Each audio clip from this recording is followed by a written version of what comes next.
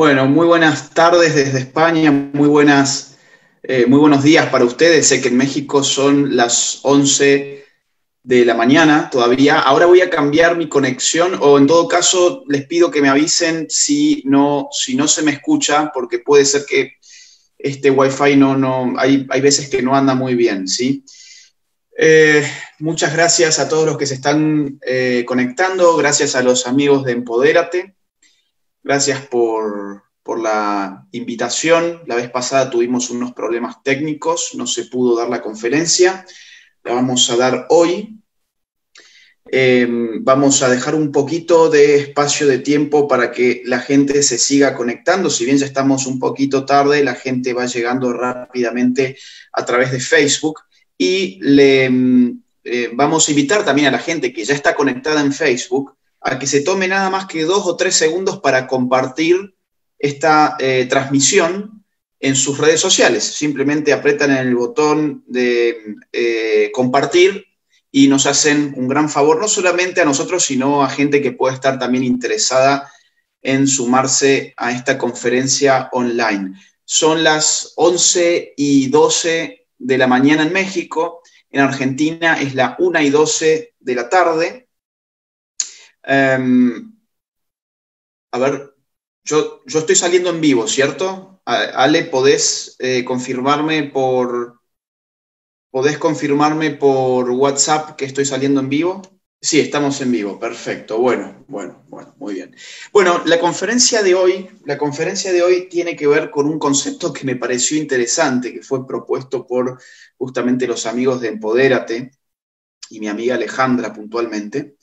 Eh, que fue el de la Matrix Progre. Yo vi Matrix hace bastante tiempo, apenas salió incluso, yo era chico, no recuerdo exactamente qué año, pero si mal no recuerdo puede haber sido a principios de los 2000, más o menos, 2000, 2001, 2002, más o menos por ahí. Y estoy seguro que muchos de ustedes también vieron Matrix, ¿no?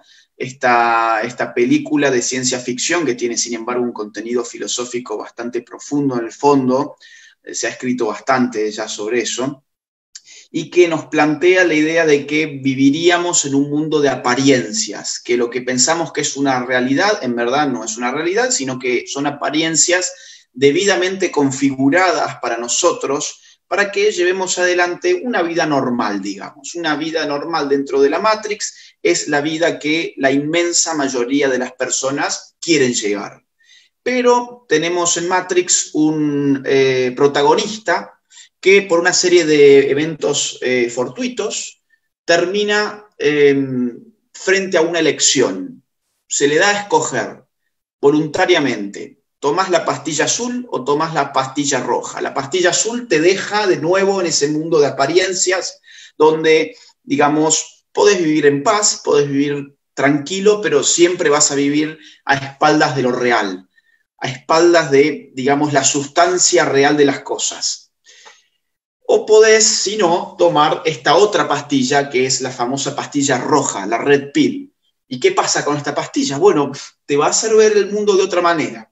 Y ese mundo que vas a ver quizás no es el más adecuado para ver, quizás no es el mundo en el cual te vayas a sentir más cómodo, no es el mundo, digamos, más seguro, obviamente tampoco es seguro, de hecho todas esas escenas de acción que sobrevienen en la narrativa de Matrix son una consecuencia justamente de haber escogido la red pill, o sea, la pastilla roja, eh, pero por lo menos tu vida de alguna forma va a valer la pena porque vas a estar en la realidad no vas a vivir toda tu vida simplemente como un títere de un mundo de ilusiones y de apariencias que en verdad no existe. Por lo menos vas a conocer la realidad y vas a hacer cosas que valgan la pena. Yo creo que de alguna forma ese concepto, esa idea, tiene que ver con lo que, lo que hoy podemos llamar como una nueva derecha está intentando hacer con recursos muy limitados como este, que la vez pasada no hemos tenido ni siquiera la posibilidad técnica de transmitir online, ahora nos, nos la ingeniamos, digamos, para poder hacerlo y espero que esto se pueda mantener. Me están escribiendo por WhatsApp más de 200 personas, espectacular, y dicen que se escucha bien. Sigan compartiendo, la gente que se ha conectado siga compartiendo. Esto va a ser una conferencia. No es un conversatorio, sino que es una conferencia. Lo que sí es una conferencia rara, porque yo estoy acostumbrado a dar las conferencias en un auditorio, con un micrófono, con una pantalla, con gente real, digamos, de carne y hueso que está este, justo al frente mío y no hablándole como ahora estoy haciendo a una cámara desde mi casa este, y viendo a ver si la tecnología nos ayuda. Pero bueno, en fin, es una eh, conferencia que yo eh, preparé especialmente para Empodérate, eh, que es cómo salir de la Matrix Progre. Esta idea de la Matrix es la idea que va a sustentar lo que vamos a hablar hoy. Y, y, la idea en el fondo, como digo, de la Matrix es que estamos viviendo en un mundo de ilusiones, de apariencias, que es un mundo que es muy cómodo para vivir, uno no va a tener ningún problema si vive en ese mundo de ilusiones y de apariencias, pero uno no va a estar, en definitiva, conociendo la realidad de las cosas. Y la propuesta de esta conferencia es entonces, como en Matrix, darles a ustedes una este, eh, pastilla roja. Si ustedes la quieren tomar, quédense en lo que sigue de la conferencia. Si no la quieren tomar, cierran entonces Facebook y vayan a ver Netflix. Así, así de simple. Pueden ver El Hoyo, mm, que es una de las películas este, más simpáticas de la Matrix de Netflix hoy en día y la van a pasar muy, muy, eh, muy bien. Pero bueno, gracias en todo caso a los que se están quedando del otro lado para escuchar estas palabras. Esto más o menos va a durar una hora, ¿ok? Más o menos. Como es una conferencia inédita, la verdad es que no tengo un manejo concreto del tiempo, pero voy a intentar que esto dure más o menos una hora y me voy a ir apoyando en, en unas presentaciones un PowerPoint, unas placas que he preparado para hoy. Espero que aparezcan en pantalla en este momento y espero que junto con la pantalla también aparezca mi imagen abajo. No sé si esto hay que hacerlo a través de, digamos, em, algún, algún tecnicismo, algún, alguna técnica específica, eso yo no lo sé, pero los amigos que están en la parte técnica les pido que si hay algún problema me avisen por WhatsApp, que tengo acá mi celular y estoy atento a eso. Vamos entonces, la Matrix Progre, ¿cómo escapar a ella? ¿Qué es la Matrix Progre? Yo creo que la Matrix Progre es justamente un estado de cosas que son aparentes, que son aparentes y son simpáticas, que en su apariencia divierten, que en su apariencia eh, eh, popularizan, que en su apariencia Ah, nos confortan, nos dicen lo que queremos escuchar, nos alivian incluso psicológicamente a corto plazo, nos pintan un mundo muy simple de entender, un mundo en el cual no tenemos responsabilidades, un mundo en el cual tampoco es necesario que seamos libres, al mismo tiempo es necesario que pensemos que somos libres. Esta Matrix Progre, de la cual yo creo que hay que salir, y esta conferencia está orientada a eso, tiene una serie de pilares los pilares de la Matrix Progress son fundamentalmente cuatro. Podemos encontrar muchos más, pero yo creo que los más relevantes hoy por lo menos son cuatro. Número uno, la división opresor-oprimido.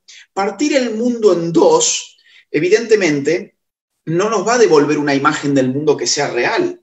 Las cosas no son en blanco y negro. Sin embargo, la Matrix Progre, que es, insisto, la Matrix en la cual hoy estamos, eh, en, la, en la cual hoy estamos eh, inmersos, eh, parte nuestro mundo, parte nuestra existencia en dos. Opresores por un lado y oprimidos por el otro. Punto final. Toda la realidad, toda la realidad se va acomodando rápidamente en estas dos categorías. Si hablamos de sexualidad, por ejemplo, bueno, ya esto tiene que ser obvio para todos. El opresor es el hombre, la oprimida es la mujer.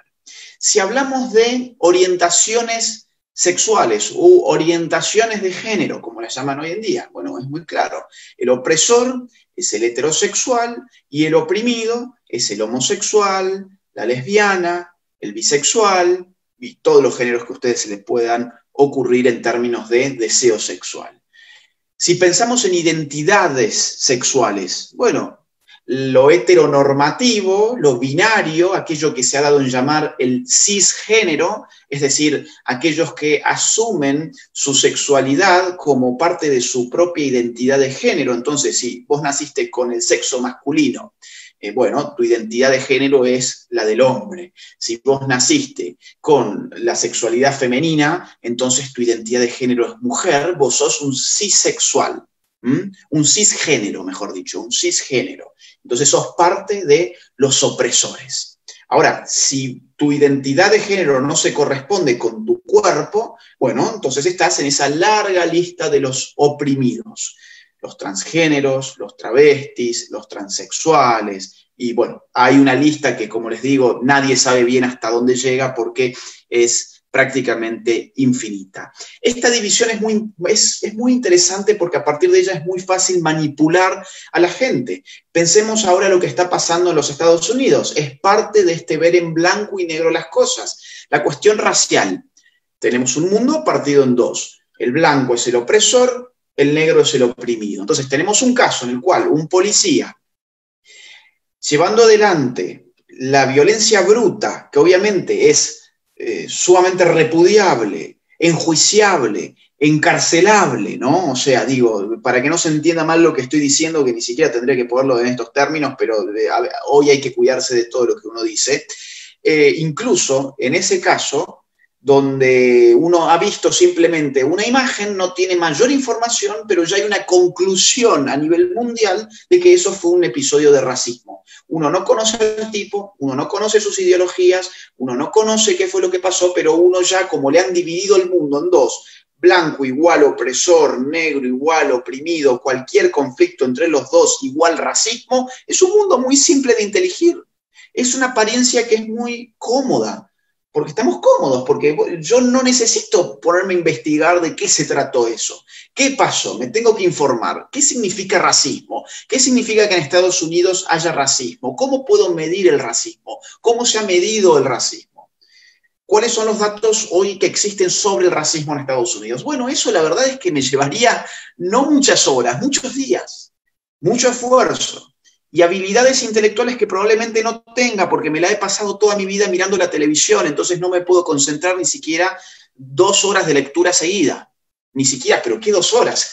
dos minutos, dos minutos. Entonces me la pasé viendo la televisión y bueno, eh, ¿para qué me voy a meter en un problema tratando de investigar algo como esto? Acepto la narrativa oficial, que es una narrativa blanco-negro, este, no solamente en términos raciales, sino en términos de lo maniqueo, un mundo dividido en dos, y tengo un mundo totalmente inteligible, muy simple de entender. Ahora, ¿estoy entendiendo bien ese mundo? No, no lo estoy entendiendo bien, porque estoy cayendo en una falacia lógica.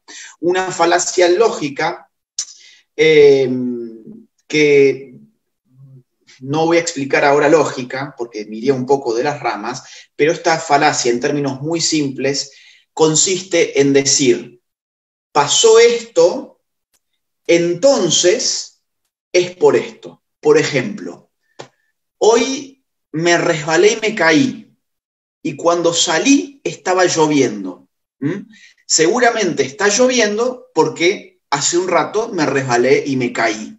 No hay ninguna conexión lógica entre los dos hechos, pero la falacia consiste en dar por sentado que hay una eh, conexión lógica entre los dos hechos. Por ejemplo, voy a poner otro caso.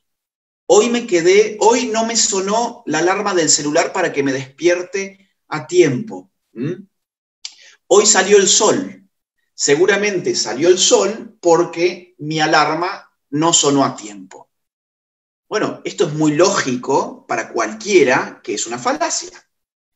Porque uno dice, ¿y qué tiene que ver tu alarma con que salga el sol? Bueno, de la misma forma, la misma estructura lógica, o mejor dicho, falaz en términos lógicos, ha tenido lo que ha pasado con este sujeto, Floyd, en los Estados Unidos y con el eh, policía que abusó de su fuerza y lo asesinó. Se nos dijo, un policía blanco asesinó a un negro, entonces ese crimen es racismo. Y uno dice, bueno, acá me está faltando alguna premisa de por medio. ¿Por qué de una cosa necesariamente se sigue la otra? Incluso uno podría decir, pero si con ese policía había gente de otras razas también. Había otros dos policías, uno hispano y uno asiático. Y, aparte, cuando empezamos a escarbar, sucede que además la esposa del policía no era eh, blanca, aria, sino que también es de otra raza. Y empezamos a ver, y Floyd y el policía eh, habían trabajado juntos durante 17 años en un restaurante, y bueno, pero todo eso cuesta, cuesta mucho. Salirse de la Matrix progre cuesta mucho. uno por pensar de esta forma, seguramente ahora habrá gente que dirá, uy, este es un racista y demás. Yo no voy a hablar hoy sobre ese punto, pero traigo el punto a colación porque eh, es de lo que todo el mundo está hablando hoy y creo que es una buena forma de entender esto del opresor y el oprimido, en un caso que es actual y que es vigente y que se está dando en este mismo momento. Hay otro pilar, hay otro pilar de la Matrix Progre que es el victimismo, y es la necesidad irrefrenable que hoy la gente tiene de ser una víctima. El arquetipo de nuestros, el arquetipo, el modelo, el modelo a seguir, eh, el modelo a seguir que hoy tenemos todos no es el de viejos modelos ya caducos, como por ejemplo, no sé, el del caballero, el del guerrero, el del héroe, eh, el del genio. Eh, esos modelos ya no están vigentes. Hoy lo que la gente desespera por ser es víctima. Porque cuando vos sos víctima, en definitiva, y esto está atado al pilar anterior, cuando vos sos víctima, en ese mundo blanco y negro, que ya te han enseñado a entender que el mundo se divide de esa forma, vos vas a poder ubicarte en la cómoda categoría del oprimido. Y para los oprimidos, para los oprimidos entre comillas, obviamente, en el marco de esta ideología y de esta matrix, para los oprimidos hay caricias, hay subsidios, hay leyes especiales, hay inclusiones forzosas, hay leyes de cuotas, hay todo lo que ustedes se puedan imaginar. Hay gente que se compadece porque uno es una víctima, hay gente que te pregunta qué necesitas, cómo te puede ayudar desde el Estado. Hay gente que va y te pide encarecidamente tu voto a favor de ciertos favores. Entonces, ser una víctima hoy no es una situación penosa, es hoy una situación que realiza, la víctima siempre ha querido dejar de ser víctima, pero en este momento estamos viendo que todos quieren seguir siendo víctimas, ser víctimas y seguir siendo víctimas, aunque en verdad la categoría de víctima hoy no sea más que una categoría ideológica. Eh, por ejemplo, hay víctimas de las cuales hoy no se habla. Los cristianos masacrados en Medio Oriente, por ejemplo los cristianos perseguidos en Medio Oriente están fuera de la división opresor-oprimido porque sencillamente están fuera del radio de visión que los medios de comunicación hoy permiten, por ejemplo. Por ejemplo, eh, un padre de familia que le están adoctrinando a su hijo en el colegio por leyes opresoras que vienen del Estado, que se bajan a todos los colegios por igual. Bueno, él no es una víctima, él es un opresor porque él no acepta el mundo de la inclusión, la diversidad del LGBT, que ha sido incluido en la categoría de víctimas a partir de su lugar de oprimidos. Tercer punto, el fin de la responsabilidad. La Matrix Progre es muy conveniente psicológicamente. Uno se siente cómodo con la Matrix Progre porque lo que hace es borrar toda huella de, toda huella de responsabilidad en mis propios fracasos. Es una matrix que está organizada para que vos no sufras tus fracasos. A cada fracaso que vos tengas, la matrix te va a encontrar necesariamente un responsable que no sos vos, ni siquiera compartido. Es necesariamente siempre una abstracción.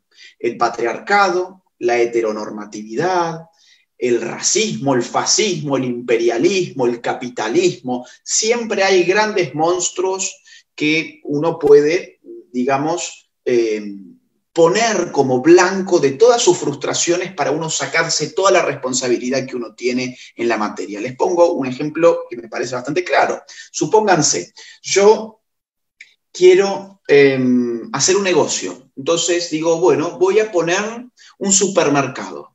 Excelente, pongo un supermercado. Y resulta que a los seis meses mi, mi supermercado quiebra. Entonces, eh, yo tengo dos opciones. La opción que me da la Matrix, es decir, viste, vos no podías, y no podías porque hay un sistema que se llama el capitalismo, que a vos te oprime, que a vos te fundió, que es esencialmente injusto, te llevó a la quiebra. Vos sos maravilloso, vos no tenés nada que ver con la quiebra de tu negocio, sino que hay un sistema que se llama eh, capitalismo que le encanta ver quebrar a la gente y ver a la gente morirse de hambre. Entonces vení, ponete la remera del Che Guevara, ponete la playera, la camiseta del Che Guevara y vamos a tirar piedras juntos contra la Embajada de los Estados Unidos o contra lo que fuere. Esto es muy cómodo porque evidentemente uno, a ver, la responsabilidad absolutamente individual en estas cosas pocas veces existen.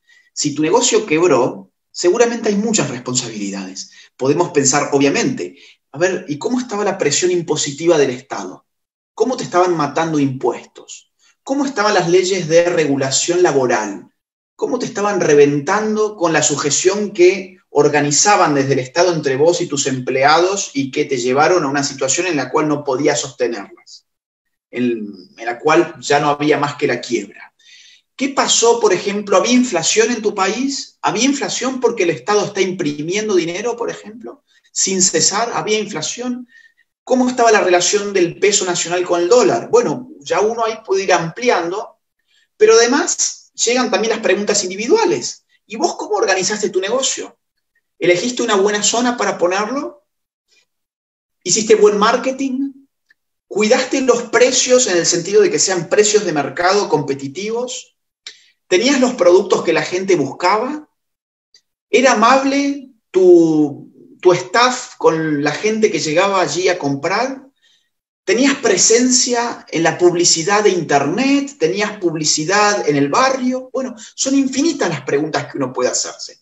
Pero todo eso, otra vez, implica un hacerse cargo, implica un desgaste también emocional, e implica un desgaste intelectual y implica también tiempo. Voy a analizar, voy a analizar qué fue lo que pasó. En cambio, la Matrix Progre no te pide que analices, no te, no, no te pide que pienses, no te pide que reflexiones.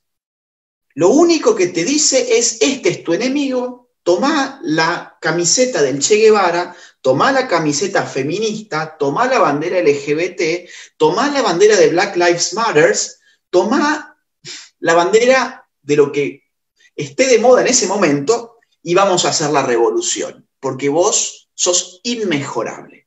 Vos no tenés ninguna responsabilidad en esto, no estés, no estés frustrado. Evidentemente, digamos, en términos psicológicos, esto es una, es una droga, es una droga. Es, digamos, eh, parafraseando a Marx, la Matrix Progre es el opio, es el opio de los millennials. Es el opio de los millennials. Los mantiene en una suerte de abombamiento intelectual los mantiene en una suerte de, eh, digamos, incapacidad de pensar sobre sí mismos y de pensar sobre las cosas, cogen una simbología rápida, un discurso de dos o tres palabras y se acabó, y vamos al frente y yo me salvo psicológicamente de hacerme cargo de mis frustraciones. ¿Para qué? Para ser el día de mañana una, una persona más eficiente, una mejor persona también. Eso queda vedado porque la Matrix Progre te dijo que la responsabilidad no era en absoluto tuya. Cuarto pilar, cuarto y último pilar que me parece que constituye, que mantiene en pie esta Matrix Progre, el fin de la identidad. Lo que la Matrix te dice en el fondo es, deja fluir tu identidad.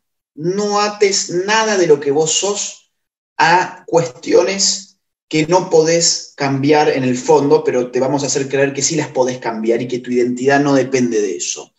No pienses que por ser hombre sos hombre. No pienses que por ser mujer sos mujer.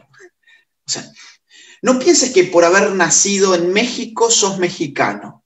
No pienses que por haber nacido en Argentina sos argentino no pienses que por creer en el Dios cristiano sos cristiano.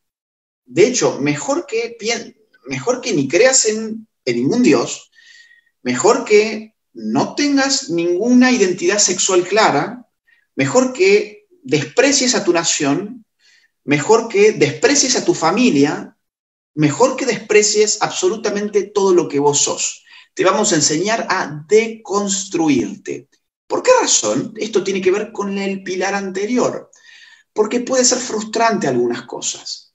Algunas cosas pueden ser frustrantes. Digo, el país de uno y la nación de uno nunca es perfecta. La religión de uno nunca es perfecta. Eh, uno puede tener frustraciones sexuales.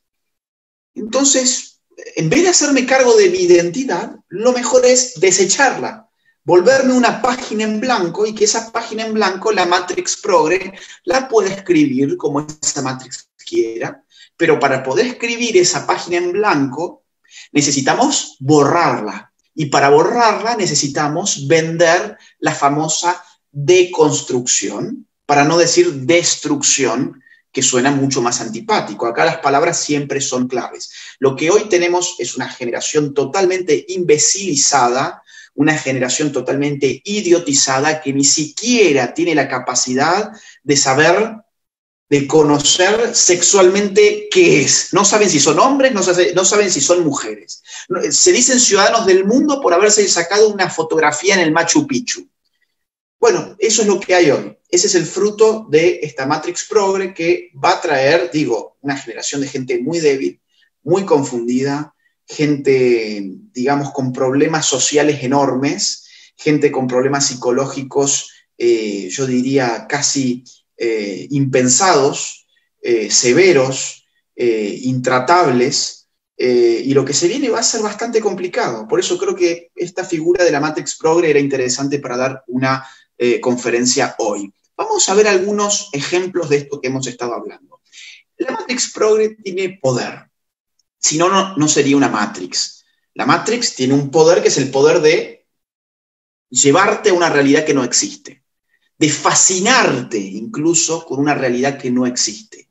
Y aunque vos sospeches de esa realidad, fascinarte con la idea de que no tenés que cuestionar esa sospecha, sino que tenés que zambullirte en los brazos del poder de la Matrix que te va a acoger, te va a acariciar y va a hacer que tu vida sea muy sencilla y muy cómoda. ¿Qué es el poder? Yo voy a dar hoy dos definiciones de poder que me parece que son las más son de lo más importante que hay hoy en la sociología y en la filosofía. Max Weber, uno de los grandes padres de la sociología, por cierto, dice lo siguiente, poder significa la probabilidad de imponer la propia voluntad dentro de una relación social, aún contra toda resistencia y cualquiera sea el fundamento de esa probabilidad. Es decir, el poder es cuando A logra, cuando el sujeto A logra que B haga algo que en verdad es la voluntad de A, sin importar cuáles sean los medios. Ese medio puede ser el uso de la fuerza, en un ejemplo en el cual podemos concebir a A poniendo un revólver en la cabeza de B y diciéndole, vos tenés que hacer X, porque si no, yo jalo el gatillo y vos te morís. ¿Eso es una relación de poder? Sí. ¿Por qué? Porque hay una imposición de la propia voluntad que en este caso se desempeña como una amenaza del uso de la fuerza. Pero también podemos imaginar otros escenarios donde hay poder y un poder mucho más eficiente porque es un poder que no se nota en su metodología. Por ejemplo, el sujeto A tiene un medio de comunicación enorme, vamos a poner The New York Times, ese medio de comunicación quiere que se legalice el aborto en México, por ejemplo, y ese medio de comunicación empieza a presionar con sus tapas y sus contratapas, como de hecho hicieron en Argentina, a ver, Alejandra me está mandando algo, quiero ver si es que estamos, si estamos bien. Sí, estamos bien. Eh, tenemos 400, 400 eh, espectadores online. Aprovecho para decirles, inviten a la gente a ver esto. Ustedes pueden hacerlo ahora mismo poniendo compartir. Se toma un segundo hacer eso y nos ayudan a llegar a más gente. Y ayudan sobre todo a más gente a poder tener un rato, digo, con ideas que no se escuchan por la televisión o que no se ven por Netflix ni por Disney, ¿no? O sea, estamos hablando de otras cosas acá. Vuelvo con el ejemplo. Supónganse ustedes un sujeto A que tiene un medio de comunicación muy importante y que ese medio de comunicación tiene un interés, tiene una voluntad. La voluntad es, por ejemplo, que se legalice el aborto en México. Y entonces ese medio de comunicación, pónganle ustedes The New York Times, o póngale Televisa si ustedes quieren, va a presionar mediáticamente para que ve, es decir, un sujeto ve que puede ser tanto un sujeto individual como un legislador o un sujeto eh, colectivo como las masas, acepten esa voluntad. Y ahí hay un poder mucho más eficiente que el poder de A con un revólver sobre la cabeza de B pidiéndole que quiere que haga X. Es mucho más eficiente porque no lo percibimos, porque es más imperceptible. El poder más eficiente es el poder que mejor se esconde, el poder más silencioso, el poder más amable. Foucault, mucho más contemporáneo que Weber, muerto en la primera mitad de los años 80 del siglo pasado, se dedicó entre 1970 sobre todo hasta 1978-79 a analizar el poder en lo que fue su etapa genealógica de estudios. Dice Foucault, hay que cesar de describir siempre los efectos del poder en términos negativos. Excluye, reprime, rechaza, censura, abstrae, disimula, oculta. De hecho, el poder produce, produce realidad. Qué interesante, ¿no? O sea, acá hay un paso más allá de lo de Weber. Porque en Weber, fíjense en la anterior, encontramos el verbo imponer. ¿Qué hace el poder? El poder impone. Ahora Foucault dice, no, no lo pensemos siempre en negativo, siempre como una fuerza que se nos impone, que nos reprime, que ejerce fuerza sobre nosotros, que nos censura, que nos excluye. El poder también nos produce. El poder también es amable. Y precisamente cuando es amable es más productivo porque no genera resistencia. Entonces, la Matrix no es un poder que siempre nos reprima. La Matrix es un poder que nos subjetiviza, nos convierte en sujetos de una realidad ilusoria. La Matrix de, progre, la Matrix progre, produce una realidad progre para nosotros. En esa realidad producida por la Matrix, que es una apariencia en definitiva, estamos inmersos en un mundo en el cual, por ejemplo, yo soy lo que yo diga ser. Si yo digo que soy una mujer y no un hombre, yo soy una mujer. Si yo digo que los blancos me oprimen porque yo soy negro, entonces los blancos me oprimen porque yo soy negro. Si yo digo que este, el mundo me detesta porque a mí me gustan las personas de mi mismo sexo, entonces este, eso es así. Esa es la Matrix eh, eh, eh, progre. Vamos a ver entonces con estas categorías cómo opera el poder, si les parece, cómo opera el poder de la Matrix Progre. Fíjense cómo produce, cómo produce subjetividades desde muy chicos. Te pido, Ale, que sé que estás del otro lado, que me avises en el caso en que estos videos no nos aparezcan con audio en, eh, con audio en la eh, transmisión en vivo, ¿sí? Te pido por favor que por WhatsApp me pongas sí si es que estamos con audio y no si no estamos con audio. Yo le voy a dar play a este video. acá está, ok. Ahora se tendría que escuchar, vamos a ver. To learn a little bit more about gender, we're going to play a true or false game. Everyone born with a vulva is a girl. True or false? Or identifies as a not everybody is sure, and that makes sense. But our genitals actually don't determine our gender. So some people born with vulvas can be boys. About things that could happen if you masturbate? Since some people consider masturbation a form of self love. So, what does masturbate mean? It's basically when you touch yourself for sexual pleasure. So, a lot of people like to touch or stimulate their genitals in a way that feels good because it's something really pleasant and lovely that you can do for yourself. And if it's something that you enjoy, that's definitely a way of showing your self love. People want to have sex. So, if we're thinking about wanting to have sex with another person, oftentimes not because you can make yourself feel good on your own, so you don't really need to have sex with somebody else. You might feel comfortable masturbating way before you feel comfortable having sex with another person. Bueno, habrán visto el video y esto creo que es un claro ejemplo de el poder tal como lo estamos conceptualizando. Es un poder muy amable, tiene una voz muy simpática. Además, no está uniformado, no tiene una pistola, no tiene un casco militar, no tiene un gorro de policía. Es un poder totalmente amable. es un poder además que está relajado.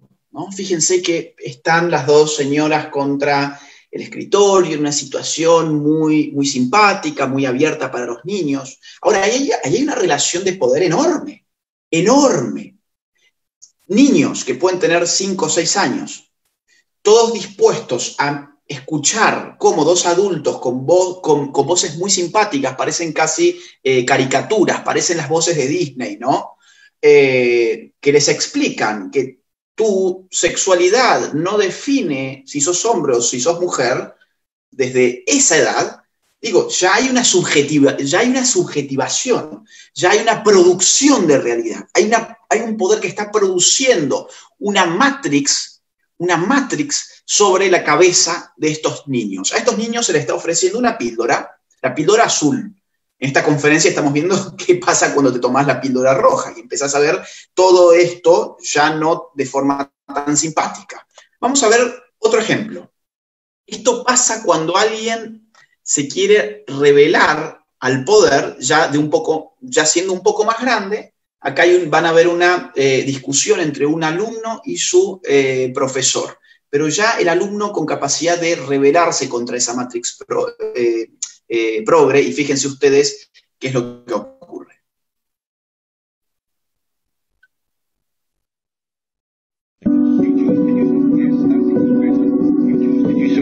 I think it's silly to have anything other than two genders. So that okay. Anything please, else could you please keep that opinion to your own house? Thank you. Not in the so school. you get to put your opinion out in class, and my No, opinion I, I am not. My opinion has to stay I am not putting my opinion. I am not putting my opinion out. I am stating what is national school authority policy. Okay? Well, it's not scientific whatsoever. Not every policy is scientific, Murray. I know what you think, and I know what the authority thinks. I know what the authority's point of view. Well, I know it's very clear, very clear that we make no discrimination on the grounds of various. I wasn't making discrimination. I'm simply saying there are two genders, male and female. Yeah. Anything I- else is a personal identification. I'm sorry, but you chose to make an issue of making. Bueno, fíjense, eso es lo que ocurre cuando uno desafía a la Matrix progre, ¿no? Lo que ocurre es que ya el poder tiene que cambiar la metodología, ya no es tan simpático, ya no son las dos bobitas estas con vocecita de ardilla de Disney World, ¿no? Eh, ya el, tipo lo va a reprimir en el marco de las represiones que son habituales en el mundo académico o estudiantil. ¿Por qué razón? Por- porque el tipo, el, el estudiante, el estudiante está diciendo una verdad, pero esa verdad no puede tener lugar dentro de la Matrix Progre.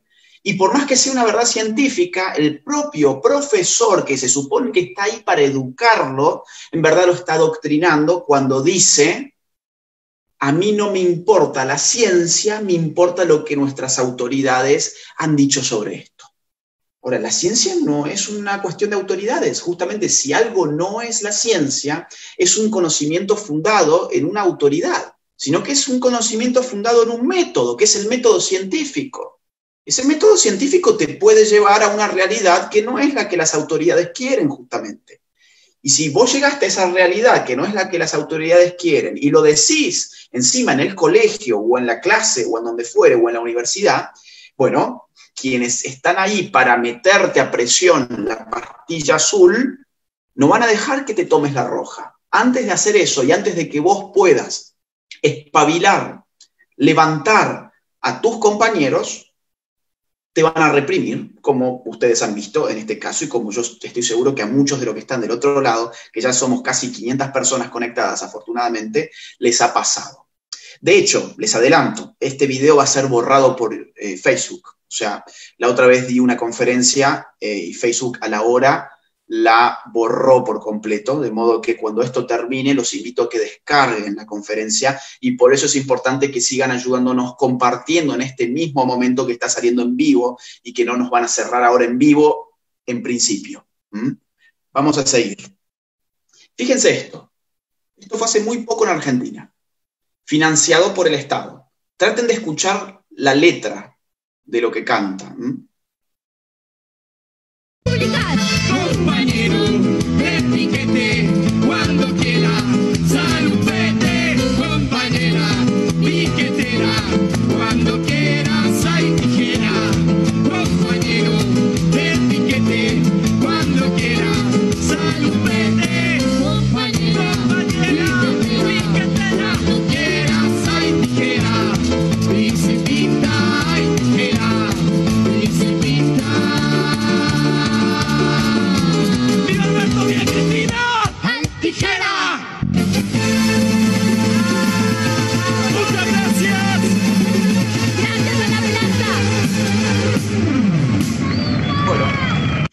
La Matrix Progre tiene un financiamiento espectacular. Esto está financiado por el Estado argentino. Este es el arte que se promueve desde el gobierno actual de Argentina. Yo no sé si ustedes escucharon, o sea, o, si saben de qué iba la cosa. Acá se está festejando la asunción de Alberto Fernández hace muy poco. En Argentina, esto es directo desde la televisión pública, estatal, que todos financiamos. Esta gente que cantó esta música espantosa, eh, música, digamos, eh, para, para- para gente con un eh, nivel cultural inexistente prácticamente, diría. Am, también recibió, obviamente, un sueldo que no sale ni del bolsillo de los políticos ni de los funcionarios, sino que sale del bolsillo de los argentinos que pagamos impuestos. Entonces, la Matrix Progre, digo, eh, ahí había un montón de simbología, yo supongo que ustedes la habrán visto, el pañuelo verde, la cuestión LGBT y todo en función de la televisión pública en el marco de la asunción de Alberto Fernández, nada más y nada menos. ¿no? Entonces estamos constantemente bombardeados tanto por un sector de medios privados que están siempre coludidos con el Estado, porque por sí solos no se mantienen en general, pero por otro lado también por el Estado en sí mismo y su aparato mediático. Decía Voltaire, un eh, francés de la ilustración francesa, uno de los más reconocidos de, de aquella escuela. Dice, para saber quién gobierna sobre ti, simplemente encuentra a quien no estás autorizado a criticar. Una buena forma de tomar la red pill, la pastilla roja, es esa, preguntarse, ¿a quién yo no puedo criticar? ¿Y por qué no lo puedo criticar? Y no solamente una crítica en tanto que rebeldía absurda sin ningún contenido, sino una crítica con contenido. ¿Por qué yo no puedo criticar ciertas cosas hoy? ¿Qué hay en aquellas personas a las cuales yo no puedo criticar? ¿Por qué yo no puedo criticar hoy al feminismo? ¿Por qué yo no puedo criticar a las abortistas? ¿Por qué yo no puedo criticar al LGBT? ¿Por qué no puedo criticar a Black Lives Matters? Bueno, evidentemente porque son los que gobiernan sobre nosotros. Si no, hacerle una crítica a ellos sería tan factible como hacerle una crítica a la Iglesia Católica. ¿Por qué si puedo criticar a la,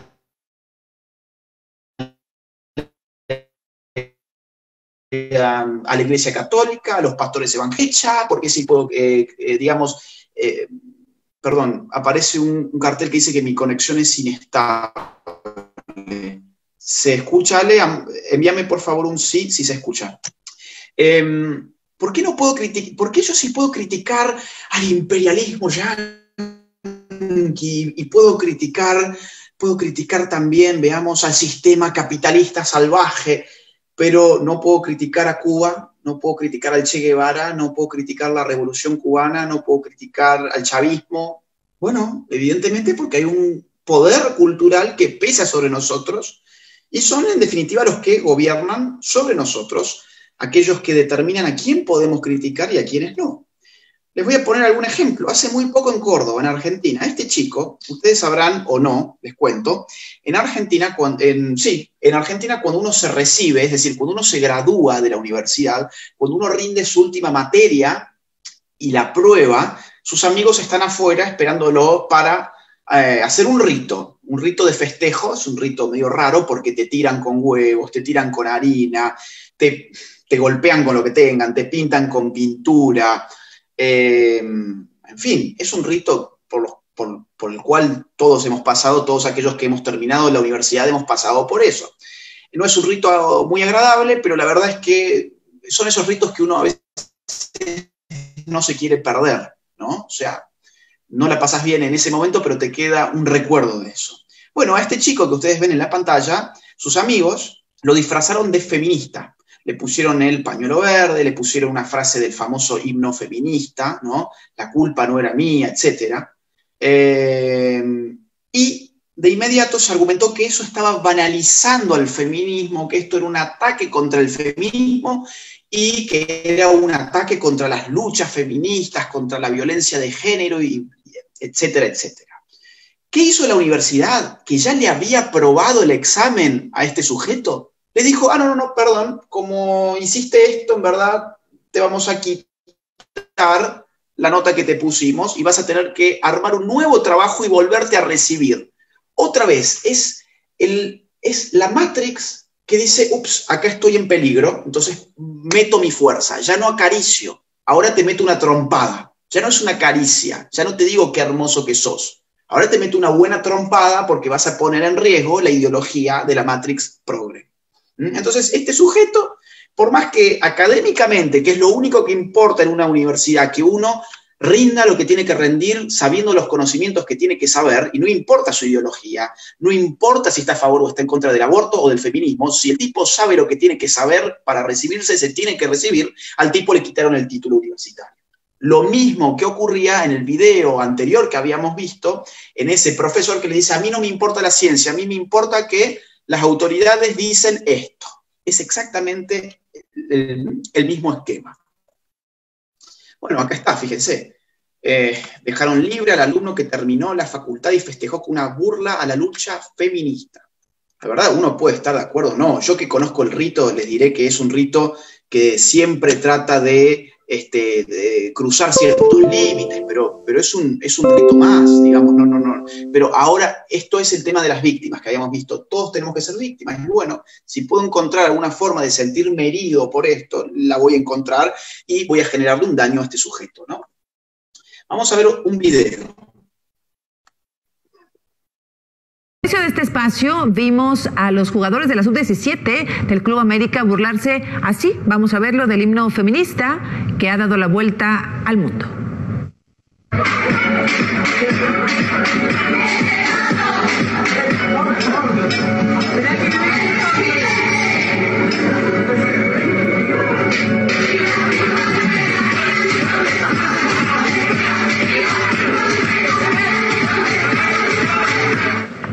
El Club América ya emitió un comunicado. Héctor González Villalba, ¿qué dice el club, Héctor? Buenas noches. Así es, Ausena, en relación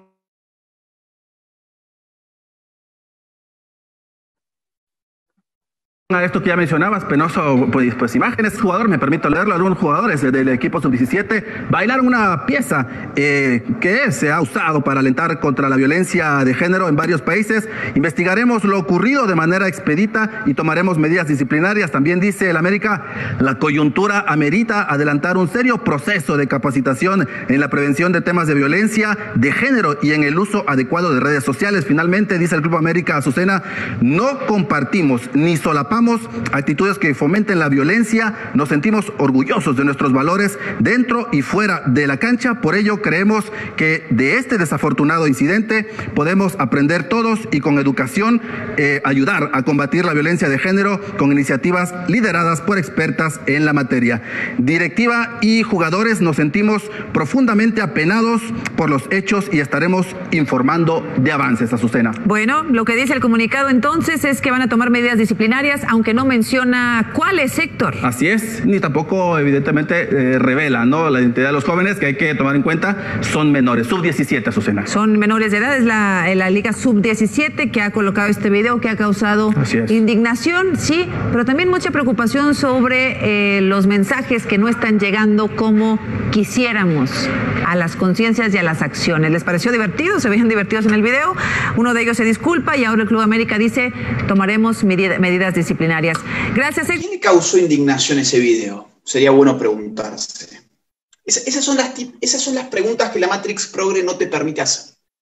Vos tenés a una mujer que tiene un poder mediático impresionante, que es la mujer que está ahí junto con el hombre, y que te dice, este video causó indignación. Yo digo, la gente se pregunta, ¿a quién le causó indignación ese video? ¿A quién le causó indignación? ¿A los propios periodistas? A las feministas, a los abortistas de México, o le causó indignación al amplísimo pueblo mexicano? Sería la primera gran pregunta que yo haría. Segundo, ¿cómo que bailar esa ridiculez, que es ese himno, eh, ese llamado himno feminista, fomenta la violencia? ¿Desde cuándo eso es eh, fomentar la violencia? Tomar medidas disciplinarias, es decir, castigar.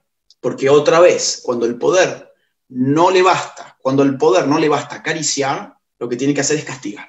Entonces, estos sujetos pusieron en peligro porque ridiculizaron un artefacto propio de la Matrix Progre, que era este himno feminista, lo ridiculizaron y fue increíble cómo se ridiculizó en general, no solamente por estos jugadores, sino en general fue fantástico y a la Matrix le duele cuando la ridiculizan, por eso hay que mucho.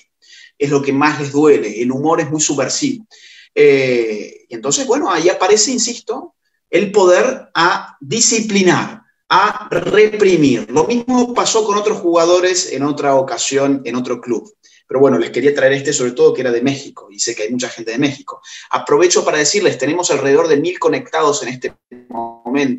Ayúdennos a difundir esta conferencia porque Facebook la va a censurar en instantes, seguro como siempre hacen con mis conferencias. Con lo cual esto se puede ver en vivo y ojalá que cuando termine nos dé el tiempo de bajarla y poder subirla a otra plataforma un poquito más libre como es YouTube. Un poquito, no se crean que es mucho más libre. Entonces, compartan esto ahora, tienen un botón ahí para compartir, inviten a la gente, mándenle el link por grupos de eh, WhatsApp, por lo que fuere, así pueden entrar a escuchar esto y podemos ser cada vez más personas. Bueno, por ejemplo, esto sí se permite. No se permite en la Matrix Progre que vos em, te burles del eh, memeable himno feminista, pero bueno, sí, sí, digamos, te podés burlar de la fe, en estos términos, ¿no? O sea, una eh, feminista disfrazada de la Virgen María simulando un aborto. Yo quiero que quede algo claro, a mí esto me parece eh, espantoso, desagradable, eh, una falta de respeto para la gente de fe, pero yo no lo prohibiría. Yo creo que es muy peligroso poner al Estado a prohibir expresiones que mientras no ataquen físicamente o a los bienes de las personas, hay que repudiarlas, pero yo no pondría el Estado a eh, reprimir a esta gente. Ahora, la Matrix Progre sí que pone al Estado a reprimir a los que no pensamos como ellos. Porque si un sacerdote dice, por ejemplo, eh, que la Iglesia Católica está en contra del matrimonio homosexual y habla en contra del matrimonio homosexual, del mal llamado matrimonio homosexual, va a tener probablemente en muchos países problemas con el Estado, como en Argentina. En Argentina tenemos INADI, en México ustedes tienen CONAPRED, que son organizaciones que persiguen los discursos de odio. Esto que ustedes ven en la pantalla no es ningún discurso de odio para la Matrix Progre. Entonces hay doble vara, otra vez, ¿se acuerdan? El pilar de los opresores y los oprimidos. Los oprimidos pueden hacer lo que venga en gana, los opresores tienen que ser siempre, siempre disciplinados, siempre reprimidos por el poder de la Matrix Progre. Bueno, ¿se acuerdan del chico que se recibió, por ejemplo? ¿Se acuerdan que se burló de las feministas? Lo vamos a poner de nuevo, acá está. Este chico cuando se recibió se burló de las feministas en estos términos, ¿ok? Ahora, esta chica, cuando se recibió, ella es feminista, se recibió de médica y apareció con esta pancarta ahora puedo recetar a las pibas misoprostol, que es la eh, pastilla para hacerse abortos. Es la pastilla abortiva más conocida. Ahora, curioso, porque el, el aborto en Argentina no es legal. Digo, hace dos años lo que pasó en Argentina fue el rechazo de la legalización del aborto. Entonces, vos te recibís como médica y festejás públicamente diciendo que vas a hacer abortos en un país donde el aborto es ilegal y que vas a recetar como si fuesen caramelos misoprostol. Bueno, a esta chica, la universidad, a pesar de que fue contra la ética médica y que probablemente también estaba de alguna forma eh, instigando a, cometer crímenes, eh, no tuvo ninguna sanción. Ella no tuvo ninguna sanción. Él, que se burló de las feministas, sí tuvo una sanción. Le quitaron, como les dije, el título de las manos algunas ideas sobre el poder, algunas ideas que yo quiero compartir sobre el poder para que podamos pensarlo, el poder de la Matrix Progre. El poder es la autorización de la palabra, es decir, tiene poder quien autoriza la palabra. El poder es la autorización de la palabra. Define no solo quién habla y quién guarda silencio, sino sobre lo que se habla y sobre lo que se guarda silencio no es simplemente que el poder le dé un micrófono a algunos y censure a otros, sino que además el poder dice de qué hay que hablar y de qué hay que callar. Les voy a poner algunos ejemplos. Vamos a, creo que tengo acá un video. Este es un libro que hoy publicó la página de Vencer, en uno de los stands donde nos detuvimos. Apoyan los ECOFI, los esfuerzos por por corregir la orientación sexual y la identidad de género. Mujeres lesbianas y mujeres trans que también estamos en resistencia. No estamos enfermas, estamos aquí, estamos existiendo y estamos resistiendo. Y logramos sacar los libros de ese stand. Somos tenemos más,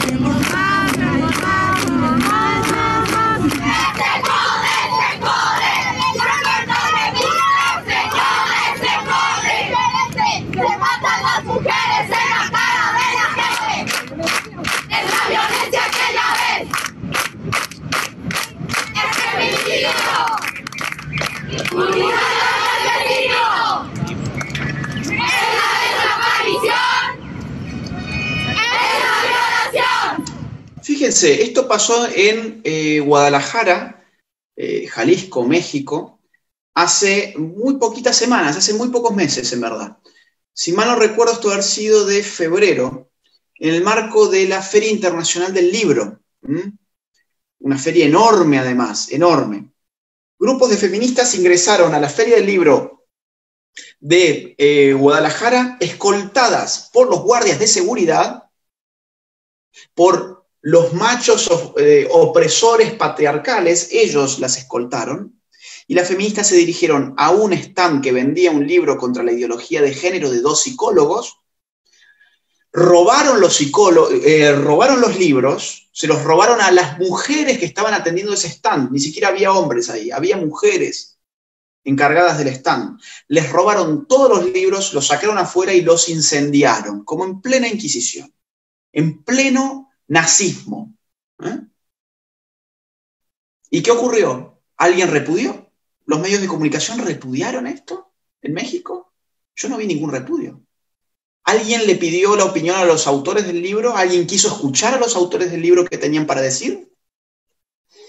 Fíjense, esto es lo que se aplica. No solamente se dice quién habla y quién tiene que guardar silencio, sino sobre lo que se habla y sobre lo que se tiene que guardar silencio.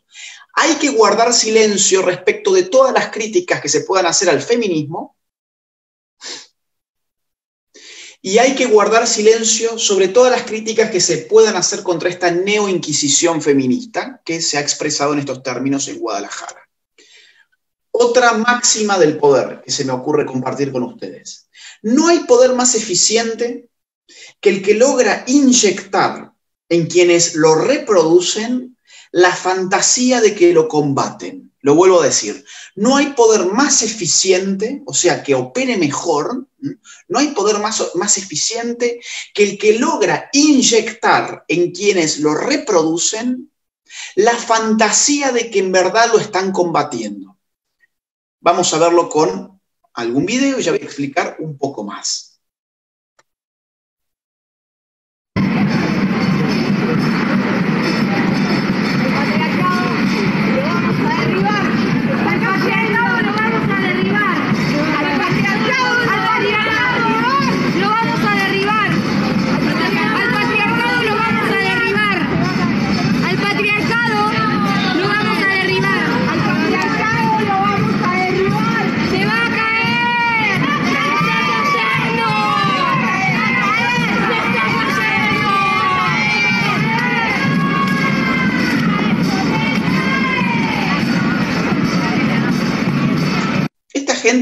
Evidentemente piensa que está haciendo una revolución. Son zombies, no son más otra cosa que zombies. Y perdón por la sinceridad, yo sé que hay mucha gente que le gusta un lenguaje que no exceda ciertos límites, pero bueno, yo creo que las cosas tienen que ser dichas de la forma más clara que se pueda. Son completos imbéciles funcionales a un poder que les hace creer que en verdad son revolucionarios cuando no son otra cosa que siervos de ese poder. Díganme, ¿a quién están poniendo en cuestión? ¿Qué estructuras de poder se supone que están realmente socavando estos neozombies? ¿Están resistiendo? ¿A qué? ¿A qué resisten? ¿Quién se les pone enfrente? ¿Quién está imposibilitándole esa marcha? ¿Contra qué están luchando? Son preguntas que hay que hacerse. Son las preguntas que la Matrix Progre no quiere que uno se haga y quiere que uno mire esto como qué fantástico. Acá hay gente, acá hay mujeres revolucionarias. Estas mujeres no están luchando contra nada. No están luchando contra nada, seguramente están luchando contra sí mismas y contra la frustración que llevan encima, que no han asumido y que han encontrado de la Matrix Progre una forma muy simpática de salirse de esa responsabilidad, que es decir, el patriarcado se va a caer y yo me tiro por el suelo. Vamos a ver otro video.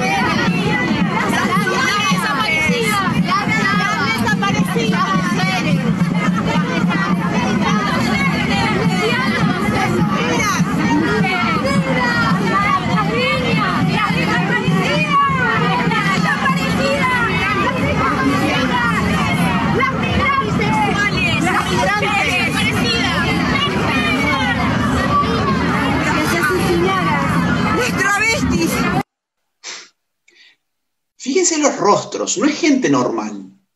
No es, gente normal. Gente que está drogada de poder, drogada del poder, a causa del poder. ¿Se acuerdan cuando, ¿se acuerdan cuando hace un rato yo les decía? La Matrix Progre es el opio de los millennials. Bueno, ahí vemos también gente muy, muy grande para ser tan estúpida. Eh, pero también vemos algunos de estos. Las caras desencajadas, casi en trance. Eh, ¿Se acuerdan que decíamos, Foucault dice, el poder produce realidad, produce además subjetividad?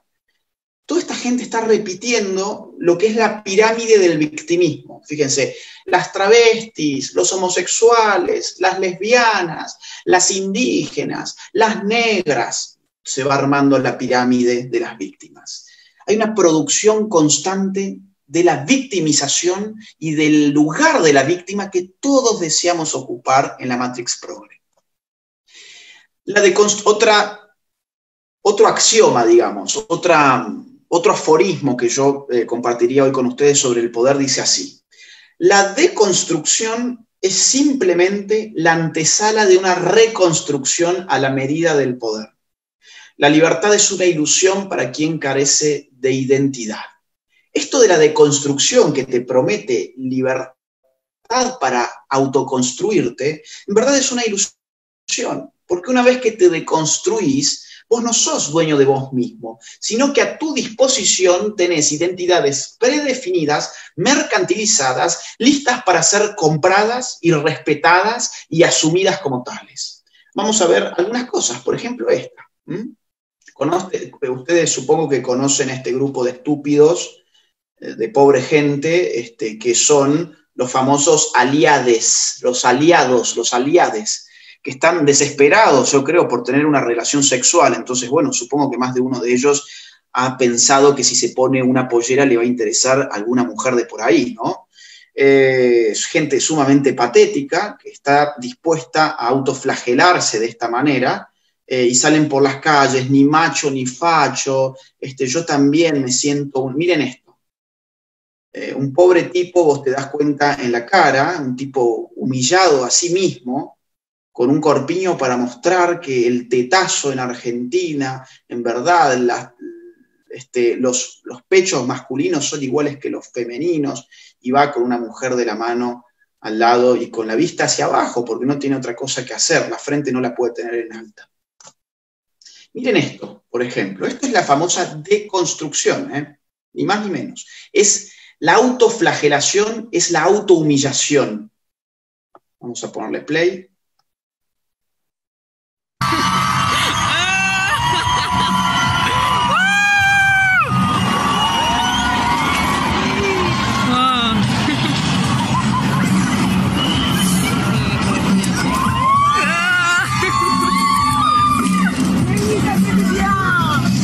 Bueno, eso es. Digo, o sea, eh, no es gratis deconstruirte. Deconstruirte no es solamente perder tu identidad, es perder tu autoestima, es perder tu dignidad. Y cuando vos perdés tu identidad, tu autoestima, tu dignidad, pasas a hacer eso. Un reo de la Matrix progre, nada más.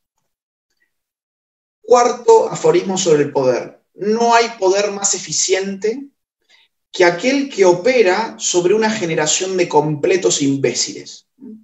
Claro, evidentemente el poder puede acariciar a estos imbéciles sin mayores resistencias, de una forma muy eficiente, porque no se acuerden, el poder más eficiente es aquel que no se nota, es aquel que se invisibiliza, es aquel que aún más se presenta divertido, liberador, inclusivo, tolerante, ese es el poder más eficiente de todos, y que opera como un, como un pez nadando en el agua, digamos, opera con una liviandad absoluta, sobre todo en una generación de completos imbéciles. Por ejemplo, este es un cuadro que detalla muy bien, yo creo, eh, el estado moral y psicológico de esta generación.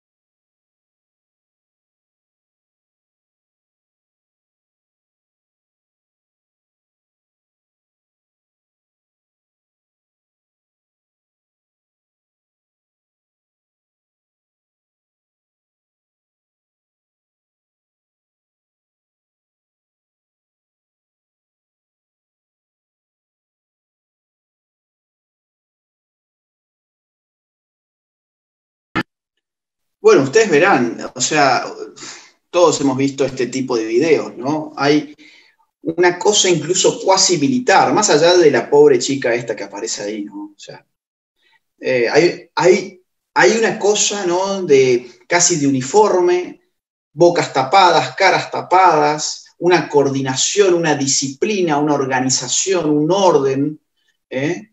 Eh, casi en la forma de un ejército, casi, o sea, casi en el sentido em, más, eh, más fascista del de, este, orden de los cuerpos, digamos, ¿no?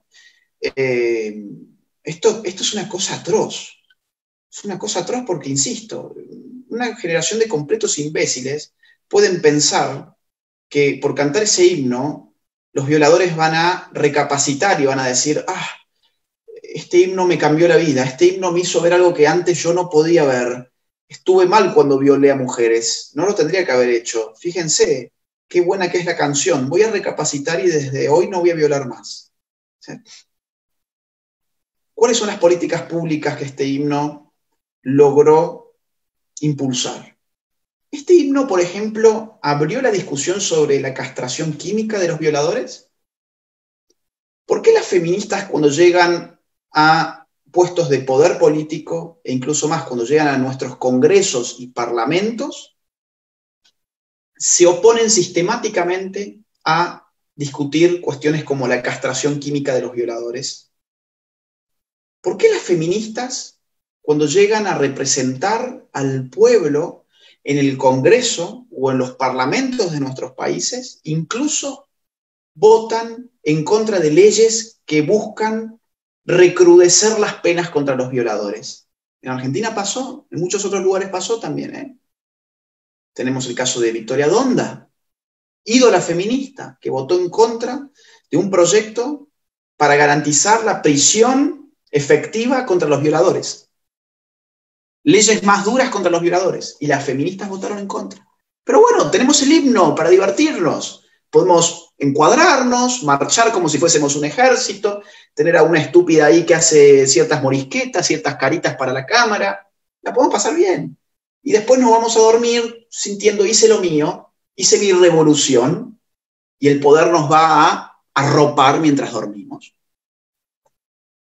Acá tenemos otro ejemplo de esta generación de completos imbéciles de las cuales yo le hablaba. A ver, vamos a ver.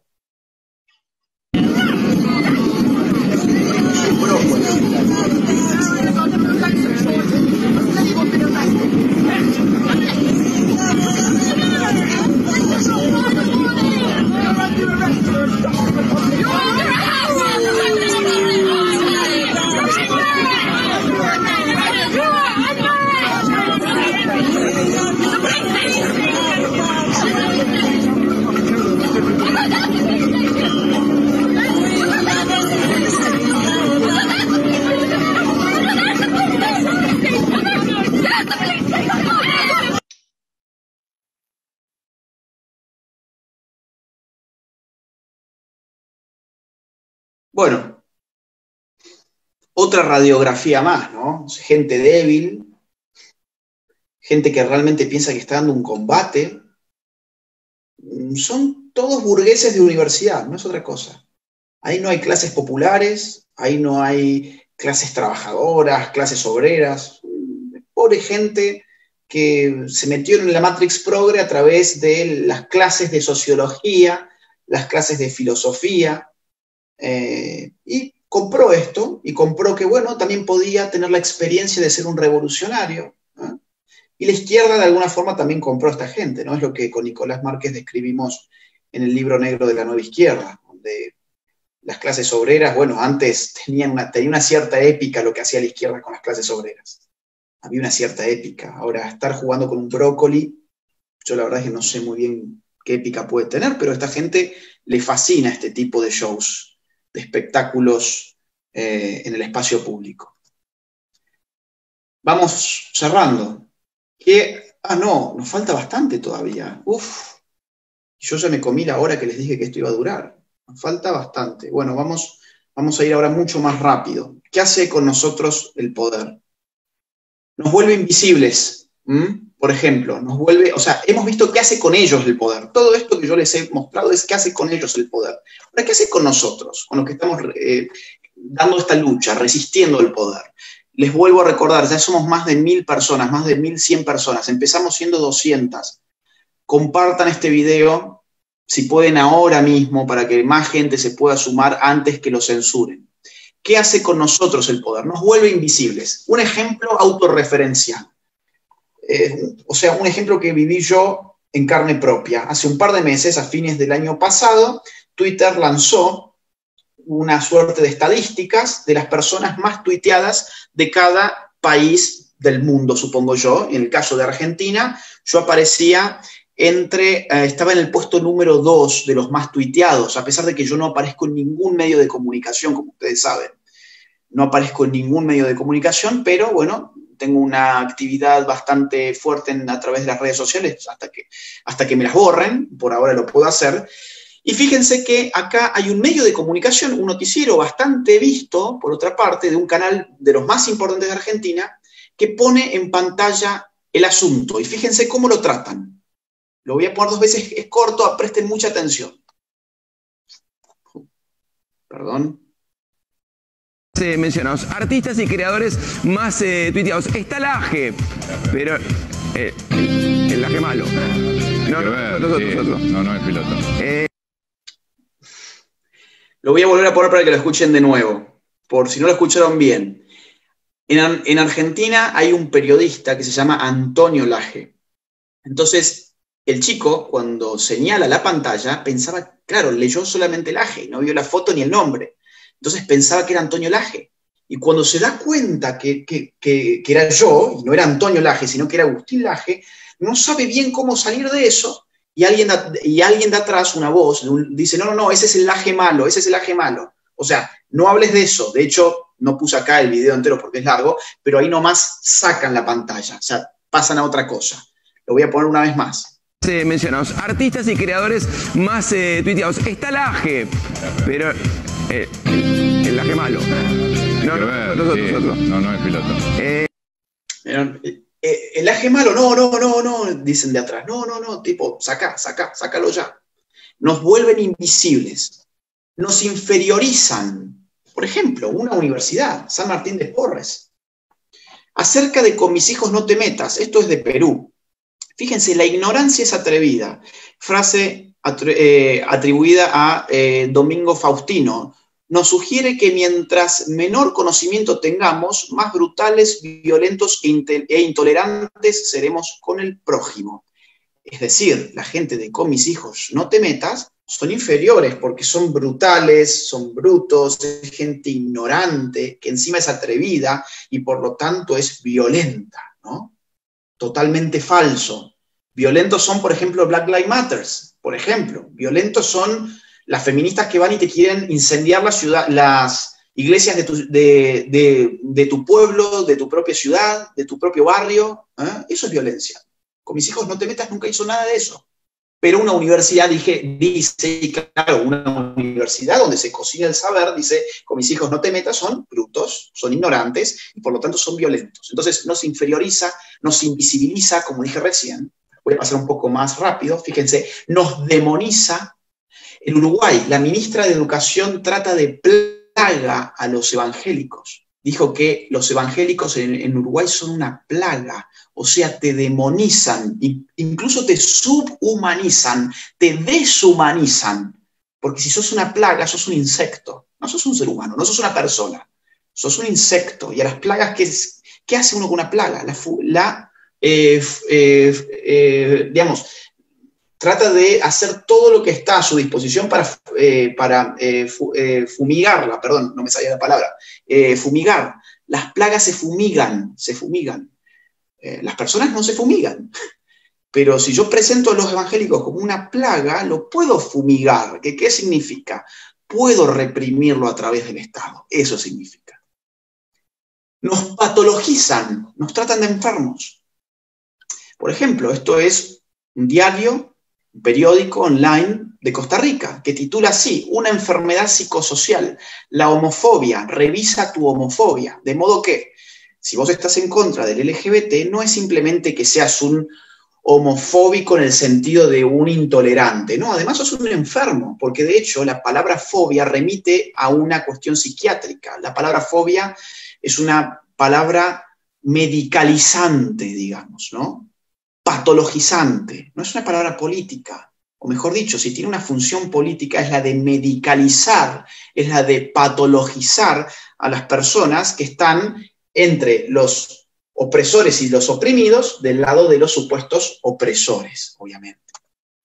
La BBC, uno de los periódicos más, uno de los medios más importantes del mundo, titula ¿Es la homofobia una enfermedad? Y cita a un psiquiatra que dice, nunca consideraría que un paciente es sano si no ha superado su prejuicio contra la homosexualidad. O sea, vos no sos un disidente político por enfrentarte a la Matrix progre, Vos sos un enfermo mental que necesita curarse, no necesita un debate racional. Yo no puedo tener un debate racional con un loco. Yo no me pondría a debatir con un loco. Lo que yo hago con un loco es patologizarlo, internarlo, medicarlo, reprimirlo, atarlo, disciplinarlo, domesticarlo, pero no debato con un loco, porque no hay razón en un loco. De la misma forma, no hay razón en un homofóbico.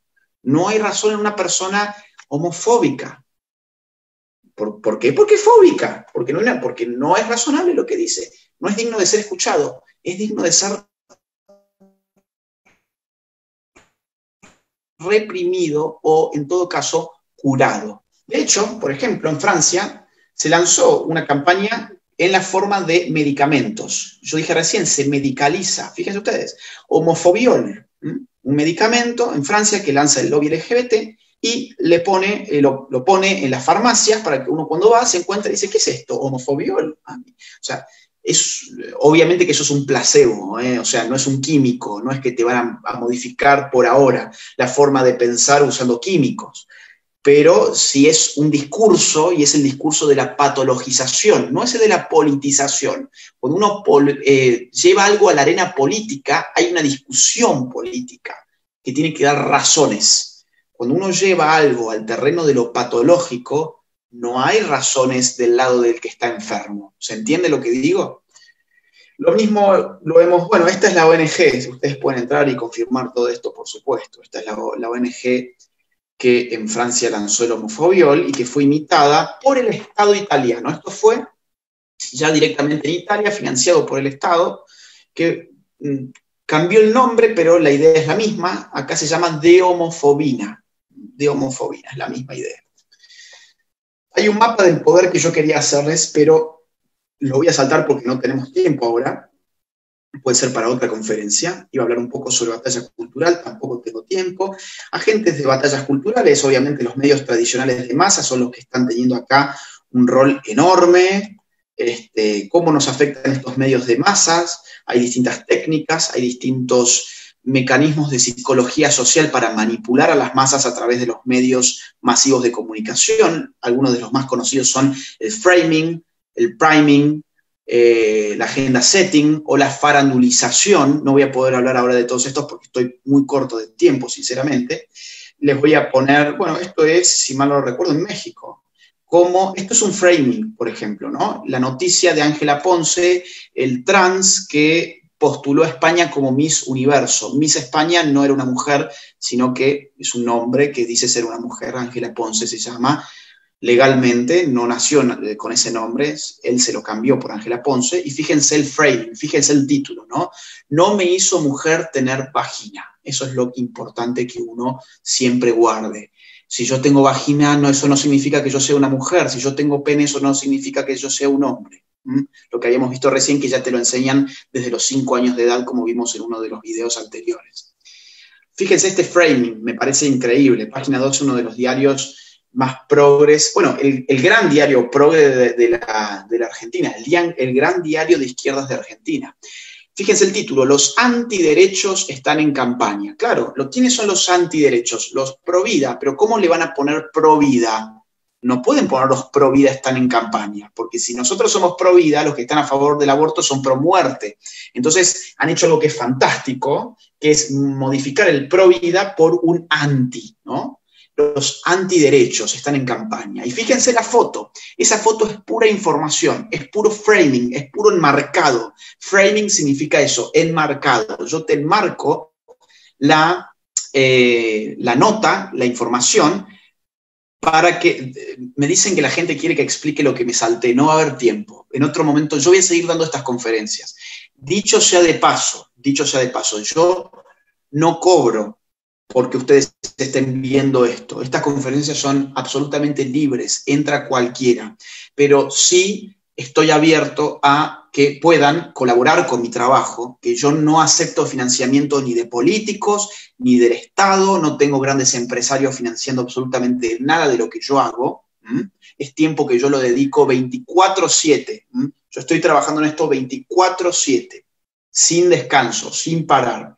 Y esto lo hago porque creo que alguien tiene que hacerlo. Ahora bien, si ustedes quieren colaborar conmigo económicamente, seamos claros, eh, pueden hacerlo. Pueden hacerlo a través de Patreon. Yo tengo un Patreon que le, voy a pedir a la gente que está manejando esta página de Facebook donde ustedes lo están viendo esto, que si puede poner el link y la gente puede ayudarme mensualmente con montos muy bajos, realmente son muy bajos, pero es también para poner su granito de arena y para que yo pueda seguir financiando todo lo que hago sin tener que depender de estructuras que podrían limitar toda la libertad que yo tengo para decir lo que yo quiero decir.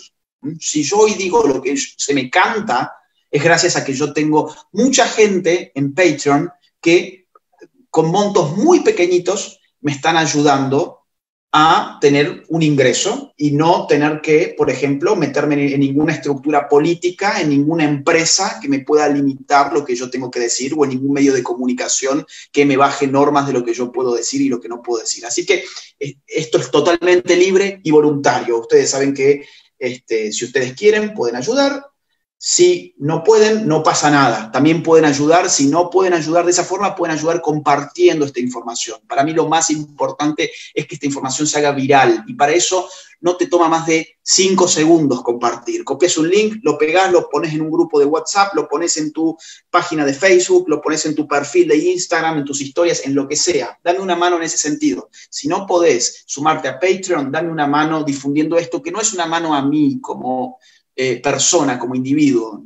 Es, una mano a las ideas que yo estoy intentando que lleguen a la gente y es una mano que se le da a la gente, es una mano que se le da a la gente que no conoce estas ideas y que necesita liberarse de la Matrix Progre de la cual estamos hablando. No puedo volver atrás, pero ya vamos a hacer otra conferencia, no se preocupen. De hecho, mañana voy a subir otra conferencia que di antenoche, ¿sí? que es una conferencia sobre la geopolítica y la biopolítica del aborto, lo voy a subir en mi canal de YouTube mañana. ¿sí? Vamos a seguir, fíjense lo que les decía, el framing, fíjense la foto que escoge el medio. La foto que escoge no es una foto que la escogieron por azar, no es por azar. Fíjense, una mujer mayor, atrás otra mujer mayor, atrás otra mujer mayor, atrás un señor mayor y un muñeco. Porque ustedes vieron que la gente mayor tiende a llevar los muñecos como símbolos de de, digamos, los grupos pro vida. No hay que, no, no hay que llevar más muñecos. Eh, ¿Por qué? Porque los medios han ridiculizado muy bien eso y las redes también han, han vuelto esto un ridículo. Entonces, esa foto es perfecta. ¿Qué te está diciendo esta foto? Los pro vida son los ridículos y además son todos viejos. Los jóvenes no están ahí. Ese es el framing. ¿eh? Los antiderechos y obviamente te estamos diciendo con la foto de que si sos joven, ¿qué vas a meterte ahí? Con una señora que tiene 70 años y que está con un muñeco como si fuese un bebé. A eso apunta. Framing, Sex Education, la gran serie de educación sexual de Netflix, donde obviamente los LGBT son una cosa, son todos cool, son magníficos. Eh, los que se practican abortos son gente que se libera, se emancipa, puede seguir con su adolescencia. Eh, la gente que está a favor del aborto es gente linda, gente bella, gente exitosa. Ahora, la gente pro vida son una manga de estúpidos, todos feos, todos este, nerds, eh, gente que no vale la pena, gente bruta, además. Eso es el framing. Esto es el framing. La pedofilia, dice The New York Times, es un desorden, no es un crimen. Y fíjense el dibujo. Fíjense el dibujo, más importante incluso que el título. Tenemos a un pedófilo que está sufriendo, que está oprimido, que está siendo víctima, por eso está con esa posición, como ah, está como reprimido, como que hay una fuerza que lo está maniatando, que no puede ser libre, está transpirando, está llorando, está nervioso. Es una víctima. Eso es el framing. Y atrás, niños que no tienen mayor importancia, no tienen ni siquiera rostro. No hay que humanizar. Uno humaniza a una persona cuando le pone rostro. Por eso en la discusión del aborto no te permiten mostrar un aborto, no te permiten ver fotos de abortos, porque si le pones rostro a lo que es un aborto, tu opinión cambia necesariamente. Y si no cambia, por lo menos tenés que asumir que sos una basura de persona, básicamente. Voy a pasar porque no tengo tiempo. Perdón, vamos a hacer otra. Eh, medios digitales, bueno, otro agente de batalla cultural, los medios digitales, lo que estamos haciendo ahora. Hemos vivido una revolución comunicativa impresionante, la revolución tecnológica más importante desde la revolución industrial, ¿ok? En 1995 había 40 millones de usuarios de Internet en el mundo. En el año 2008 ya había 1.400 millones de usuarios de Internet en el mundo y hoy hay más de 3.500 millones de usuarios de Internet. El mundo hoy es un mundo en red, es un mundo hiperconectado que ha generado dos realidades, la realidad física, material y la realidad digital. Esa realidad digital es la que hoy nos permite a nosotros estar por ahora hablando en estos términos acá. Internet puede ser un factor de emancipación, puede ser un factor de contraataque, puede ser un espacio de guerra, de guerrillas contra la, contra la Matrix Progre, si lo sabemos usar. No lo usemos para estupideces de mandar el perrito y mandar la cadena de que si no reenvías esta foto de este niño pobre, este niño pobre va a seguir siendo pobre porque vos, maldito, no reenviaste su foto. O si no mandás, este, no sé, este sticker de la suerte, entonces cuando salgas de tu casa te va a pisar un camión y te vas a morir. No, eso no sirve, no hagamos spam con estupideces. Usemos las redes sociales como armas de batalla cultural, como de guerra de guerrillas cultural, para poder enfrentar a la Matrix Progre. Yo estoy haciéndolo desde mi lado, ustedes lo están haciendo desde su lado también. Cada vez que comparten esta información, están ayudando a la resistencia. Tenemos un montón de redes y es importante que todos sepamos usar todas Facebook, que es donde estamos haciéndolo ahora, y esto lo van a borrar en instantes, así que descarguémoslo por favor y subámoslo a YouTube, que es un poquito, un poquito más libre. Twitter, ¿no te gusta Twitter? A mí tampoco me gusta, me parece soso, me parece insulso, me parece que yo no puedo decir las cosas en 140 caracteres, no me gusta, pero hay mucha gente ahí que sí le gusta. Entonces, no importa si no me gusta a mí, esto no es para divertirse, esto es para combatir, esto es un combate. ¿No te diste cuenta que es un combate? Bueno, ya te estoy dando la pastilla roja. Empezate a dar cuenta que los combates no simplemente son combates de armas, no, no solamente son combates de plomo, hay combates culturales que a veces matan más que los combates que usan plomo. El aborto es un combate cultural, por ejemplo, que mata más que cualquier guerra, por ejemplo. ¿Mm? ¿Cuántos millones de seres humanos fueron abortados hoy? ¿Cuántos, cuántos millones, cuántos miles de seres humanos fueron abortados hoy? ¿Cuántos millones de seres humanos fueron abortados este mes? El mes en el que todos nos encerramos y nos escondimos debajo de la cama por un virus. ¿eh? ¿Cuántos millones de seres humanos han sido abortados en los Estados Unidos legalmente desde el 73 hasta la fecha? Estamos hablando de una batalla en un sentido militar, ¿no? Estamos hablando de una batalla en un sentido cultural. Y estos son los medios de batalla. No son divertidas, las batallas no son divertidas, son batallas. Entonces, si no te divierte Twitter, no me importa. Te invito a que lo bajes y que lo uses y que aprendas a usarlo y que aprendas a hacer memes y que, que, aprendas a retuitear y que aprendas a ser ingenioso y que aprendas a usar Instagram y que aprendas a usar WhatsApp, que armes grupos de WhatsApp, que manejes información, que reenvíes información, que, que ayudes a viralizar todo esto, porque hay más gente que necesita también tomarse la pastilla roja. Te pongo el ejemplo de YouTube, donde esto espero que lo podamos subir. Cada minuto en YouTube se suben 300 horas de video. Se ven 3.25 mil millones de horas de videos al mes. En promedio hay un billón, o sea, mil millones de visualizaciones de video en celulares al día. Esto es un arma poderosísima, poderosísima. Hay mucha censura, sí, claro, pero esa no es excusa para no intentar usarla. La farándula, agentes de batallas culturales, hemos hablado de framing, no he hablado del priming ni de la agenda setting, pero el día 10 voy a estar dando un curso sobre agenda setting. Lo van a poder encontrar a todo eso en mi eh, Instagram, ¿sí? El, día 10 voy a dar un curso con Carlos Polo de Perú. Búsquenlo, está ya subido, de hecho, ahí tienen toda la información.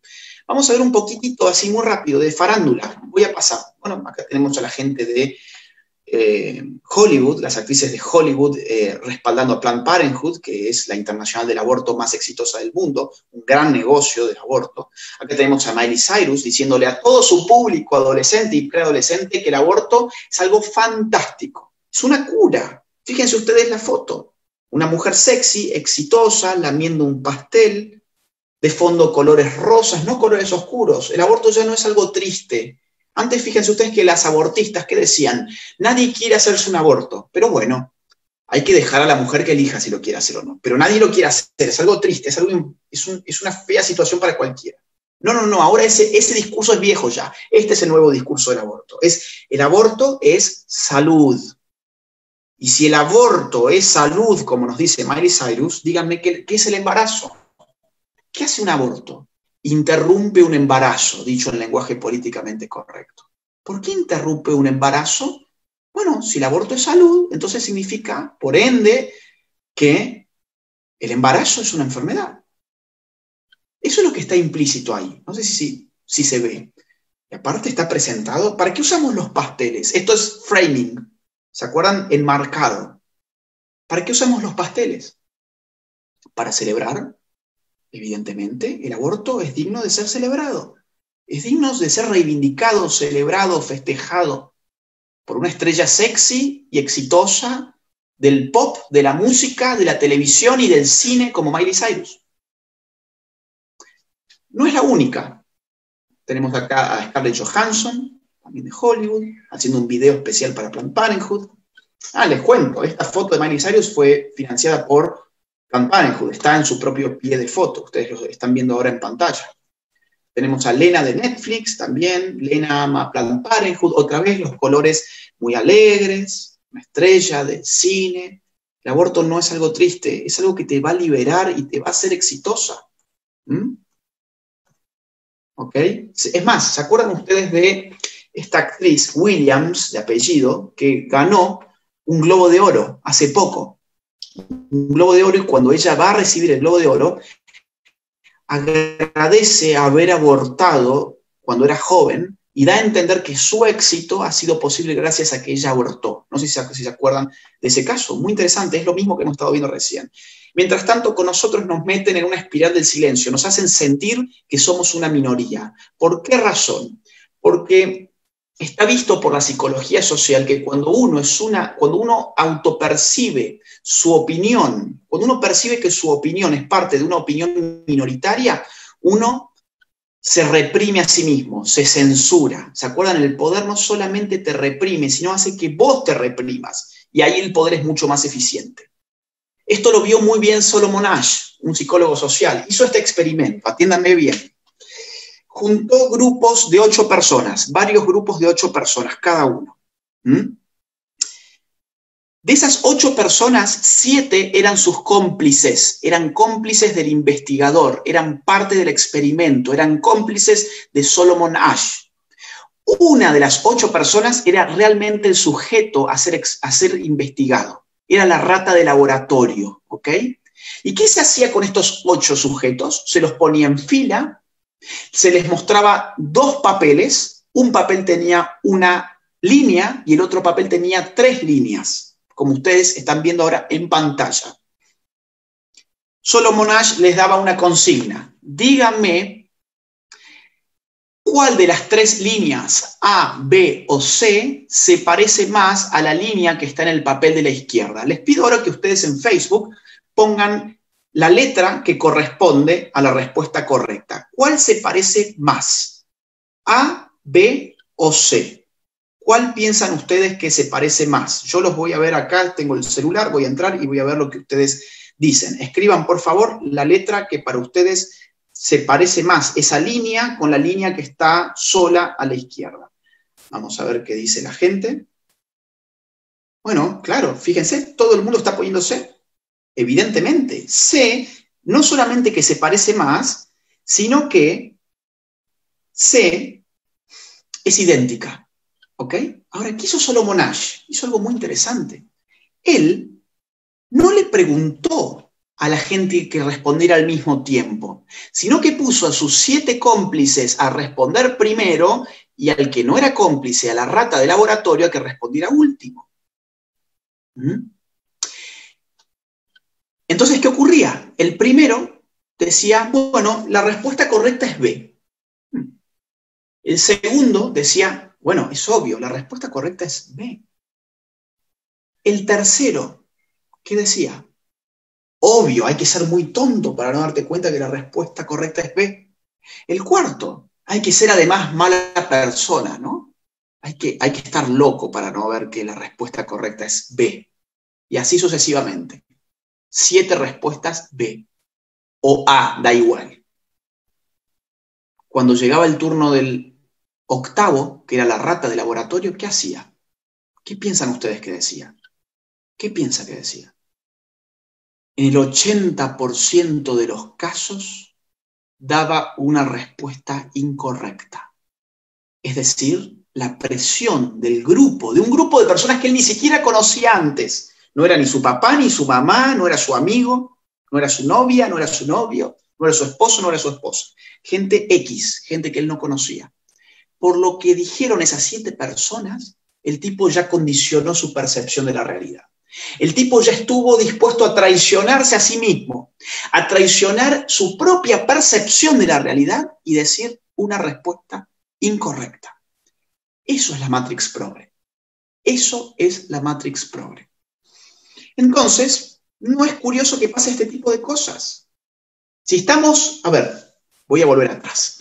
Si hemos dicho que la espiral del silencio es el efecto autorrepresor, autocensurador, en el cual uno, cuando percibe ser parte de una minoría, está dispuesto a callarse la boca, porque no quiere tener problemas, o, más aún, como Nash, está dispuesto a decir algo que no piensa, que no percibe, como parte de lo real, entonces, ¿cuál es la función del poder acá?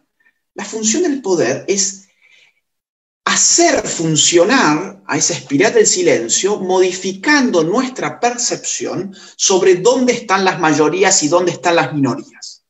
¿Mm? Porque si generan a través de los medios de comunicación una percepción de que todas las mujeres son feministas, que todos los homosexuales son parte del lobby LGBT y son todos de izquierdas, que todos los heterosexuales son opresores, que todos los blancos son racistas, que todos los católicos son pedófilos, que todos los cristianos odian a muerte a los homosexuales. Si, logran generar esas percepciones y si logran generar la percepción de que los que estamos resistiendo la Matrix somos una minoría ínfima, ¿qué hacen con nosotros? Nos autosilencian. No necesitan más de un profesor que nos ponga una mala nota, no hace falta un político que nos reprima, no hace falta un juez que nos impute, no hace falta un medio de comunicación que directamente nos corte el micrófono de una manera violenta como lo hacen conmigo.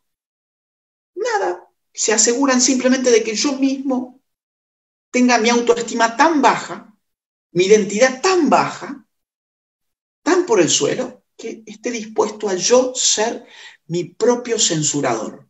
¿No somos nosotros nuestros propios censuradores muchas veces? A vos que estás del otro lado, ¿no te ha dado cosa compartir este video? A ver qué va a pensar la gente que a vos te sigue. ¿Qué va a pensar de que vos apoyes estas ideas? ¿Cuánta gente escribiendo, cuántos jóvenes escribiéndome a mí, diciéndome, tengo miedo a difundir lo que vos haces? yo coincido en todo y te animo a que lo sigas haciendo.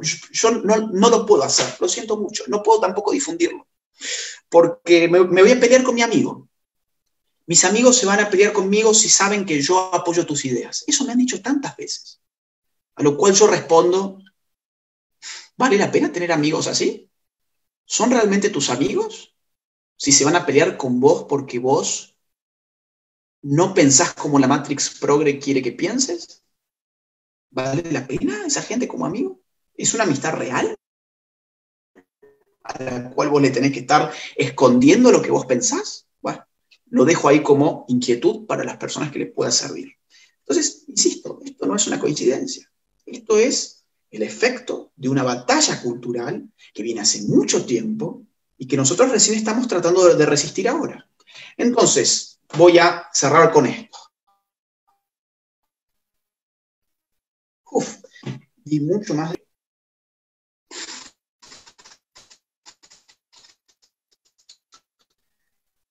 Vamos a hacer algunos niveles distintos voy a hablar sobre distintos niveles, sobre cómo salvarse de la Matrix Progre. Todos los niveles son importantes. Algunas, algunos consejos prácticos, nada más. Primero que nada, ¿estás dispuesto a tomarte la roja o querés la azul?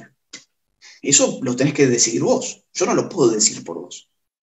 ¿Te querés tomar la roja? Tómatela. Ahora vas a ver un mundo que te va a llamar a hacer cosas donde no vas a estar tan cómodo como, por ejemplo, debatir, ser insultado, ser censurado? ¿Cuántas cuentas de Facebook? ¿Cuántas cuentas de Instagram? ¿Cuántas cuentas de Twitter? ¿Cuántos canales de YouTube censurados con tanto trabajo atrás y que han sido borrados en los últimos días? ¿Vas a tener problemas con tu trabajo? Probablemente. ¿Vas a tener problemas con tus amigos, como decíamos recién también? Ahora, ¿querés la roja? Tómatela de una vez.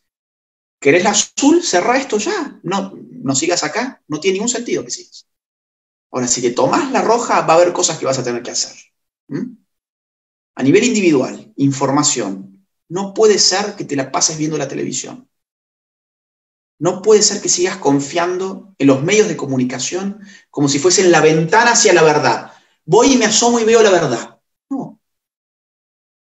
¿Cuántas pruebas más hacen falta para que te des cuenta que los medios de comunicación son funcionales a un poder político que lo financia, a un lobby internacional que también lo financia, a un establishment universitario que lo forma como soldaditos en serie a los periodistas para que todos digan exactamente lo mismo. ¿Vas a seguir confiando en la información de los que te vendieron desinformación durante esta propia pandemia, por ejemplo? Bueno, información, alternativa. ¿Qué es información alternativa? Información contrastada, contrastar. Escuchar muchas campanas, pedir siempre las fuentes. Yo siempre doy las fuentes. Mi libro tiene 280, 290 páginas y tiene 500 fuentes al pie de página. Hay una que fue una fake news. Lamentablemente yo caí ahí, como todo el mundo cae muchas veces en fake news. ¿Eh? O sea, no somos perfectos. ¿Podemos caer en fake news? Sí, pero hay que hacer lo posible siempre para contrastar, para tratar de evitar las fake news, que no vienen solamente de las redes sociales, vienen fundamentalmente de los gobiernos y vienen fundamentalmente de... A ver, perdón que me... Eh, vienen fundamentalmente de los gobiernos y vienen fundamentalmente de los medios de comunicación que sirven a esos gobiernos y a esos intereses. Ahora, solo con información no hacemos nada. Podemos estar muy bien informados, tener muchos datos. Conozco lo que está pasando acá y allá. Tengo muchos datos, soy una persona muy informada. Ahora, ¿basta la información? No, hace falta formación. Formación es aprender a pensar. Es lo más difícil, porque hemos sido entrenados para no saber pensar. Hemos sido entrenados para no saber pensar. Entonces tenemos muchos datos, pero esos datos, ¿cómo los unimos? Necesitamos unirlos en un discurso que tenga lógica, que sea profundo, que sea analítico. Tenemos que saber pensar analíticamente y conceptualmente. Ahora, ¿por qué no sabemos pensar muchas veces analítica y conceptualmente? Porque nos pasamos los años mirando una caja boba que se llama televisión. ¿Y saben qué? La, la TV no invita a pensar ni conceptualmente ni analíticamente. ¿Por qué razón? Porque la imagen no es conceptual. La imagen es representacional en todo caso. Me están representando algo sobre lo cual no tengo que pensar demasiado. Cuando leo, yo debo imaginar, debo conceptualizar, debo analizar, debo sintetizar. Todo eso no lo tengo que hacer cuando veo la televisión. Yo creo que esto que digo suena quizás como un abuelo que te está regañando porque no lees. No, no lo tomes así. Leer hoy es, una un arma para poder salir de la Matrix Progre porque te enseña más allá de los datos. Los datos están en el plano de la información. Ahora de lo que estamos hablando es de la formación. Leer te enseña a pensar. La gente no sabe pensar hoy. No sabe pensar. Y hay que aprender a leer. No digo leer este PowerPoint. No digo leer un cartel. Sí, sabemos leer. Digo, aprender a leer realmente aprender a leer un libro. No puede ser que intenten, busquen algún libro de política, de filosofía, de sociología, de los temas que estamos hablando. Traten de leerlos. Es probable que a la cuarta página te sientas agotado. Y eso no es culpa tuya, en verdad. En el sentido de que es lógico que pase eso. Si no puedes leer sostenidamente cuatro páginas seguidas, date cuenta que hay un problema en vos. Y ahí tenés dos opciones, o decir, no, lo que dijo Laje en su video, qué ridículo, qué anticuado, qué... bueno, ok, hacelo así, no leas, seguí mirando la televisión. Perfecto. Ahora, si vos asumís que no podés leer cuatro páginas seguidas y que hay un problema ahí, lo primero que tenés que saber es que el problema es solucionable. No no es algo que no tenga solución. ¿Sabes cómo se soluciona esto? Con voluntad, con esfuerzo. Me voy a poner a leer. Voy a tratar de que si hoy me agoté leyendo cuatro páginas, mañana que me agote leyendo seis páginas. Pasado mañana que me agote leer siete. Voy a ir subiendo. Lee los libros, rayalos, subrayalos, escribilos, hacer resumen. Todo eso te va a ayudar a pensar analíticamente, conceptualmente y sintéticamente. ¿ok? Son, son eh, funciones del intelecto, digamos, que muchas veces no las tenemos desarrolladas. Tenemos un repertorio de palabras escasísimo. La lengua española es tan, es tan amplia, es tan rica, tiene tantas palabras, y nosotros decimos siempre las mismas. ¿Por qué razón? Porque la televisión dice siempre las mismas. Los libros no siempre dicen las mismas palabras. ¿eh? Tercero, acción.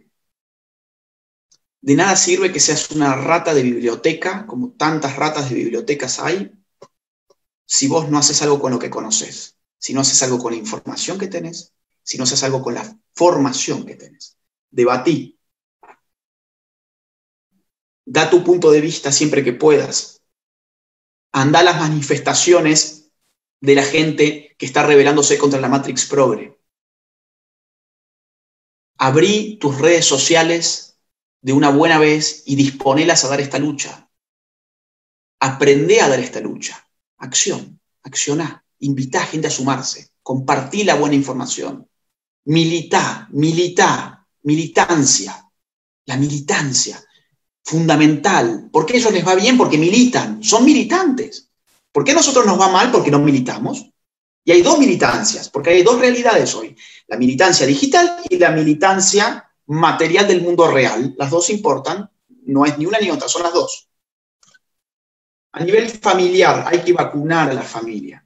No me refiero a la, a la, vacuna que te inyectan, digo el método, esto es una metáfora. ¿Qué es una vacuna? Te inyecto el virus desactivado para que tu cuerpo genere anticuerpos.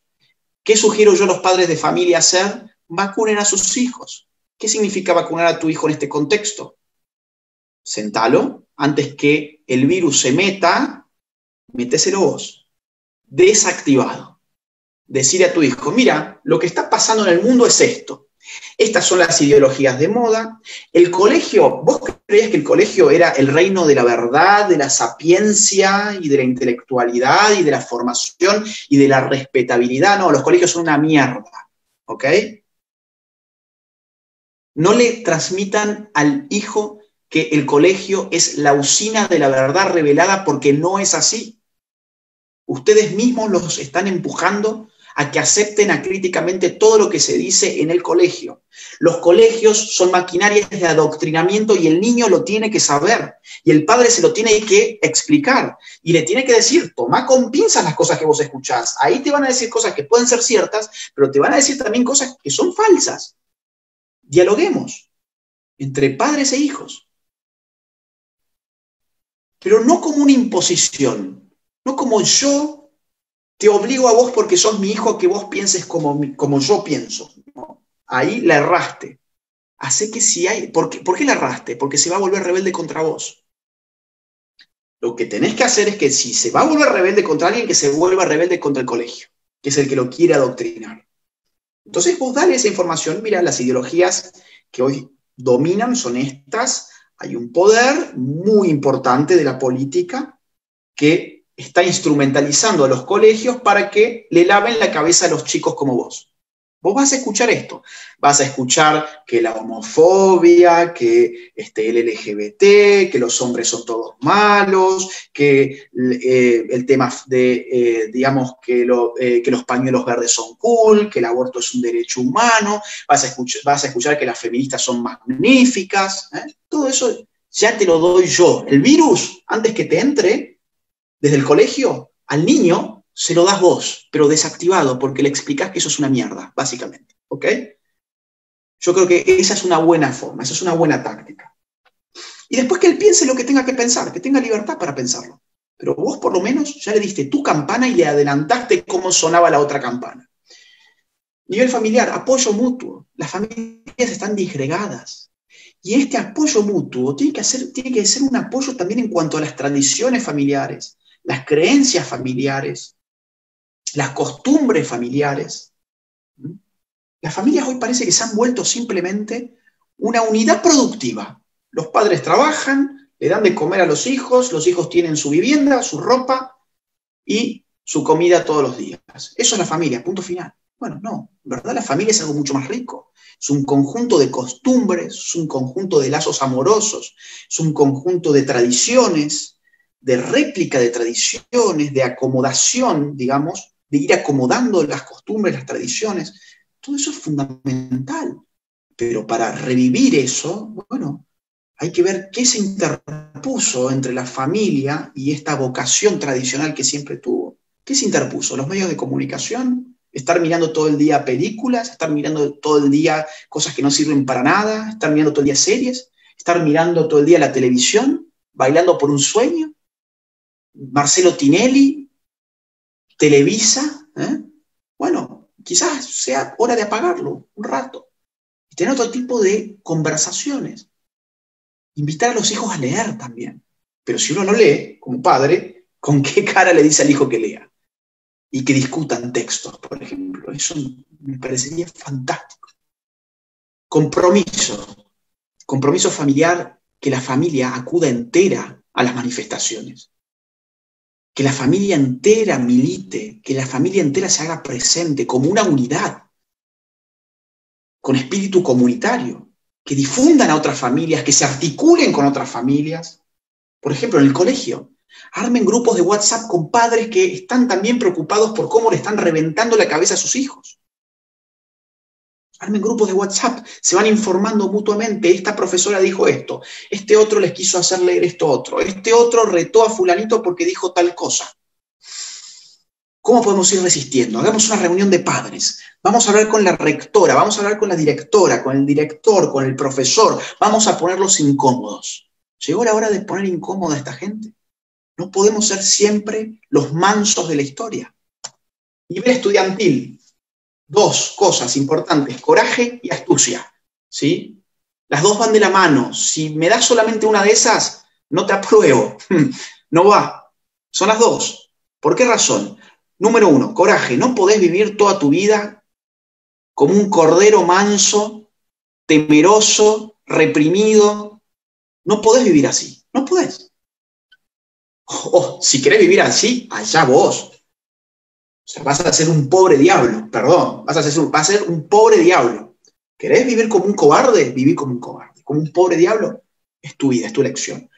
Yo te invito a tener coraje, a ser valiente. A ser valiente. ¿Qué significa ser valiente? Asumir lo que uno es, número uno, tu identidad. ¿Quién sos? ¿Quién sos? ¿Qué pensás? ¿Qué pensás? ¿Qué podés hacer con lo que pensás? ¿Te animás a hacer lo que podés hacer con lo que pensás? ¿Te animás? ¿No te animás? Llenate de coraje. ¿Qué puedes hacer con lo que pensás? ¿Decirlo? ¿Romper la espiral del silencio? ¿Comentarlo a tus amigos? ¿Hacerte cargo? ¿Dar tus argumentos? ¿Debatir? ¿Enfrentar la censura? ¿El repudio? ¿Enfrentar?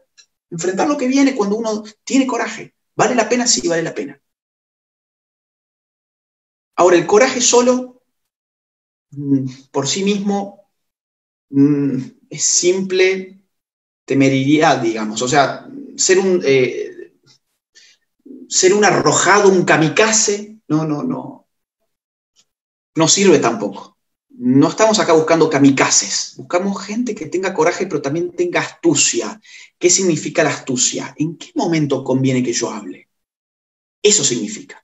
Por ejemplo, estoy en la clase y sé que este profesor es muy autoritario. Sé que si yo evidencio su ignorancia y lo refuto, este tipo no me la va a perdonar. Voy a convertirme en un alumno crónico, me va a reprobar todo. No voy a poder recibirme jamás. Bueno, entonces no te guíes solamente por esa valentía irracional, sino que tu valentía sea racional. Acá gano algo peleándome contra un profesor que me tiene como un títere y que puede hacer conmigo lo que quiera? Si en definitiva lo que yo quiero decir es para influir sobre mis compañeros, porque ese profesor está cobrando un salario, está cobrando un sueldo para él enseñarte a vos, para él adoctrinarte a vos, no para que él sea refutado por vos. Si vos lo refutás, pones en riesgo nada menos que su fuente de ingresos, básicamente que está legitimada supuestamente porque ese tipo sabe. Pero si ese tipo no sabe porque vos se lo mostrás en la cara que no sabe, el tipo no le va a hacer mucha gracia que digamos, ¿ok? Vos no lo vas a convencer a él, vos a quien, te, vos a quien tenés que convencer es a tus compañeros. Entonces, si con ese profesor vos no podés hablar con libertad, no te inmoles, no hacen falta kamikazes.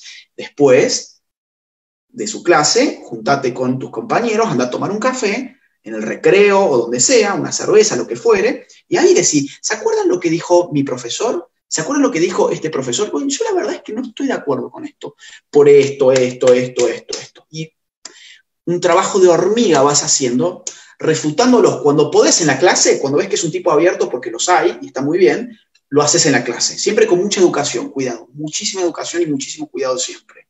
Ahora, si no podés, hacelo después hablando con tus compañeros, pero no te quedes callado, coraje y astucia. Y perdón, necesitas una buena formación, ¿ok? Si, te vas a, si vas a estar en esta, información, información, si no, no vas a tener nada para decir, o lo que digas va a estar mal y solamente vas a reafirmar que el profesor tenía razón, y ahí el tiro sale, pero por la culata, te pega a vos mismo. Nivel civil, esto ya es lo último, ¿sí? Política, no le tengamos asco a la política, apoyemos a los políticos pro vida, nos acerquemos a ellos, no necesariamente en calidad de políticos nosotros, ni necesariamente nos tenemos que afiliar a partidos, pero los apoyemos cuando vemos que son sinceros y sepamos si son sinceros o no. Por eso la formación y la información es clave, ¿se acuerdan? Es clave.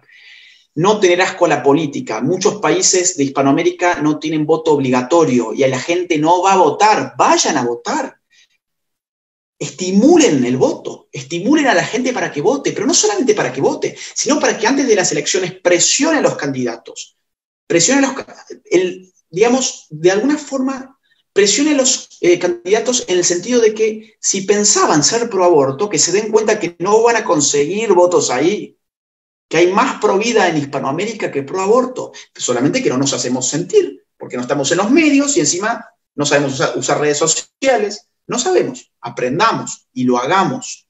Militancia, ya hablé de eso, hay que militar en movimientos sociales, los grupos pro vida, los grupos de con no te metas, en partidos políticos, si tenés una vocación de militancia política, es muy loable, no te vendas políticamente, viví para la política, no de la política.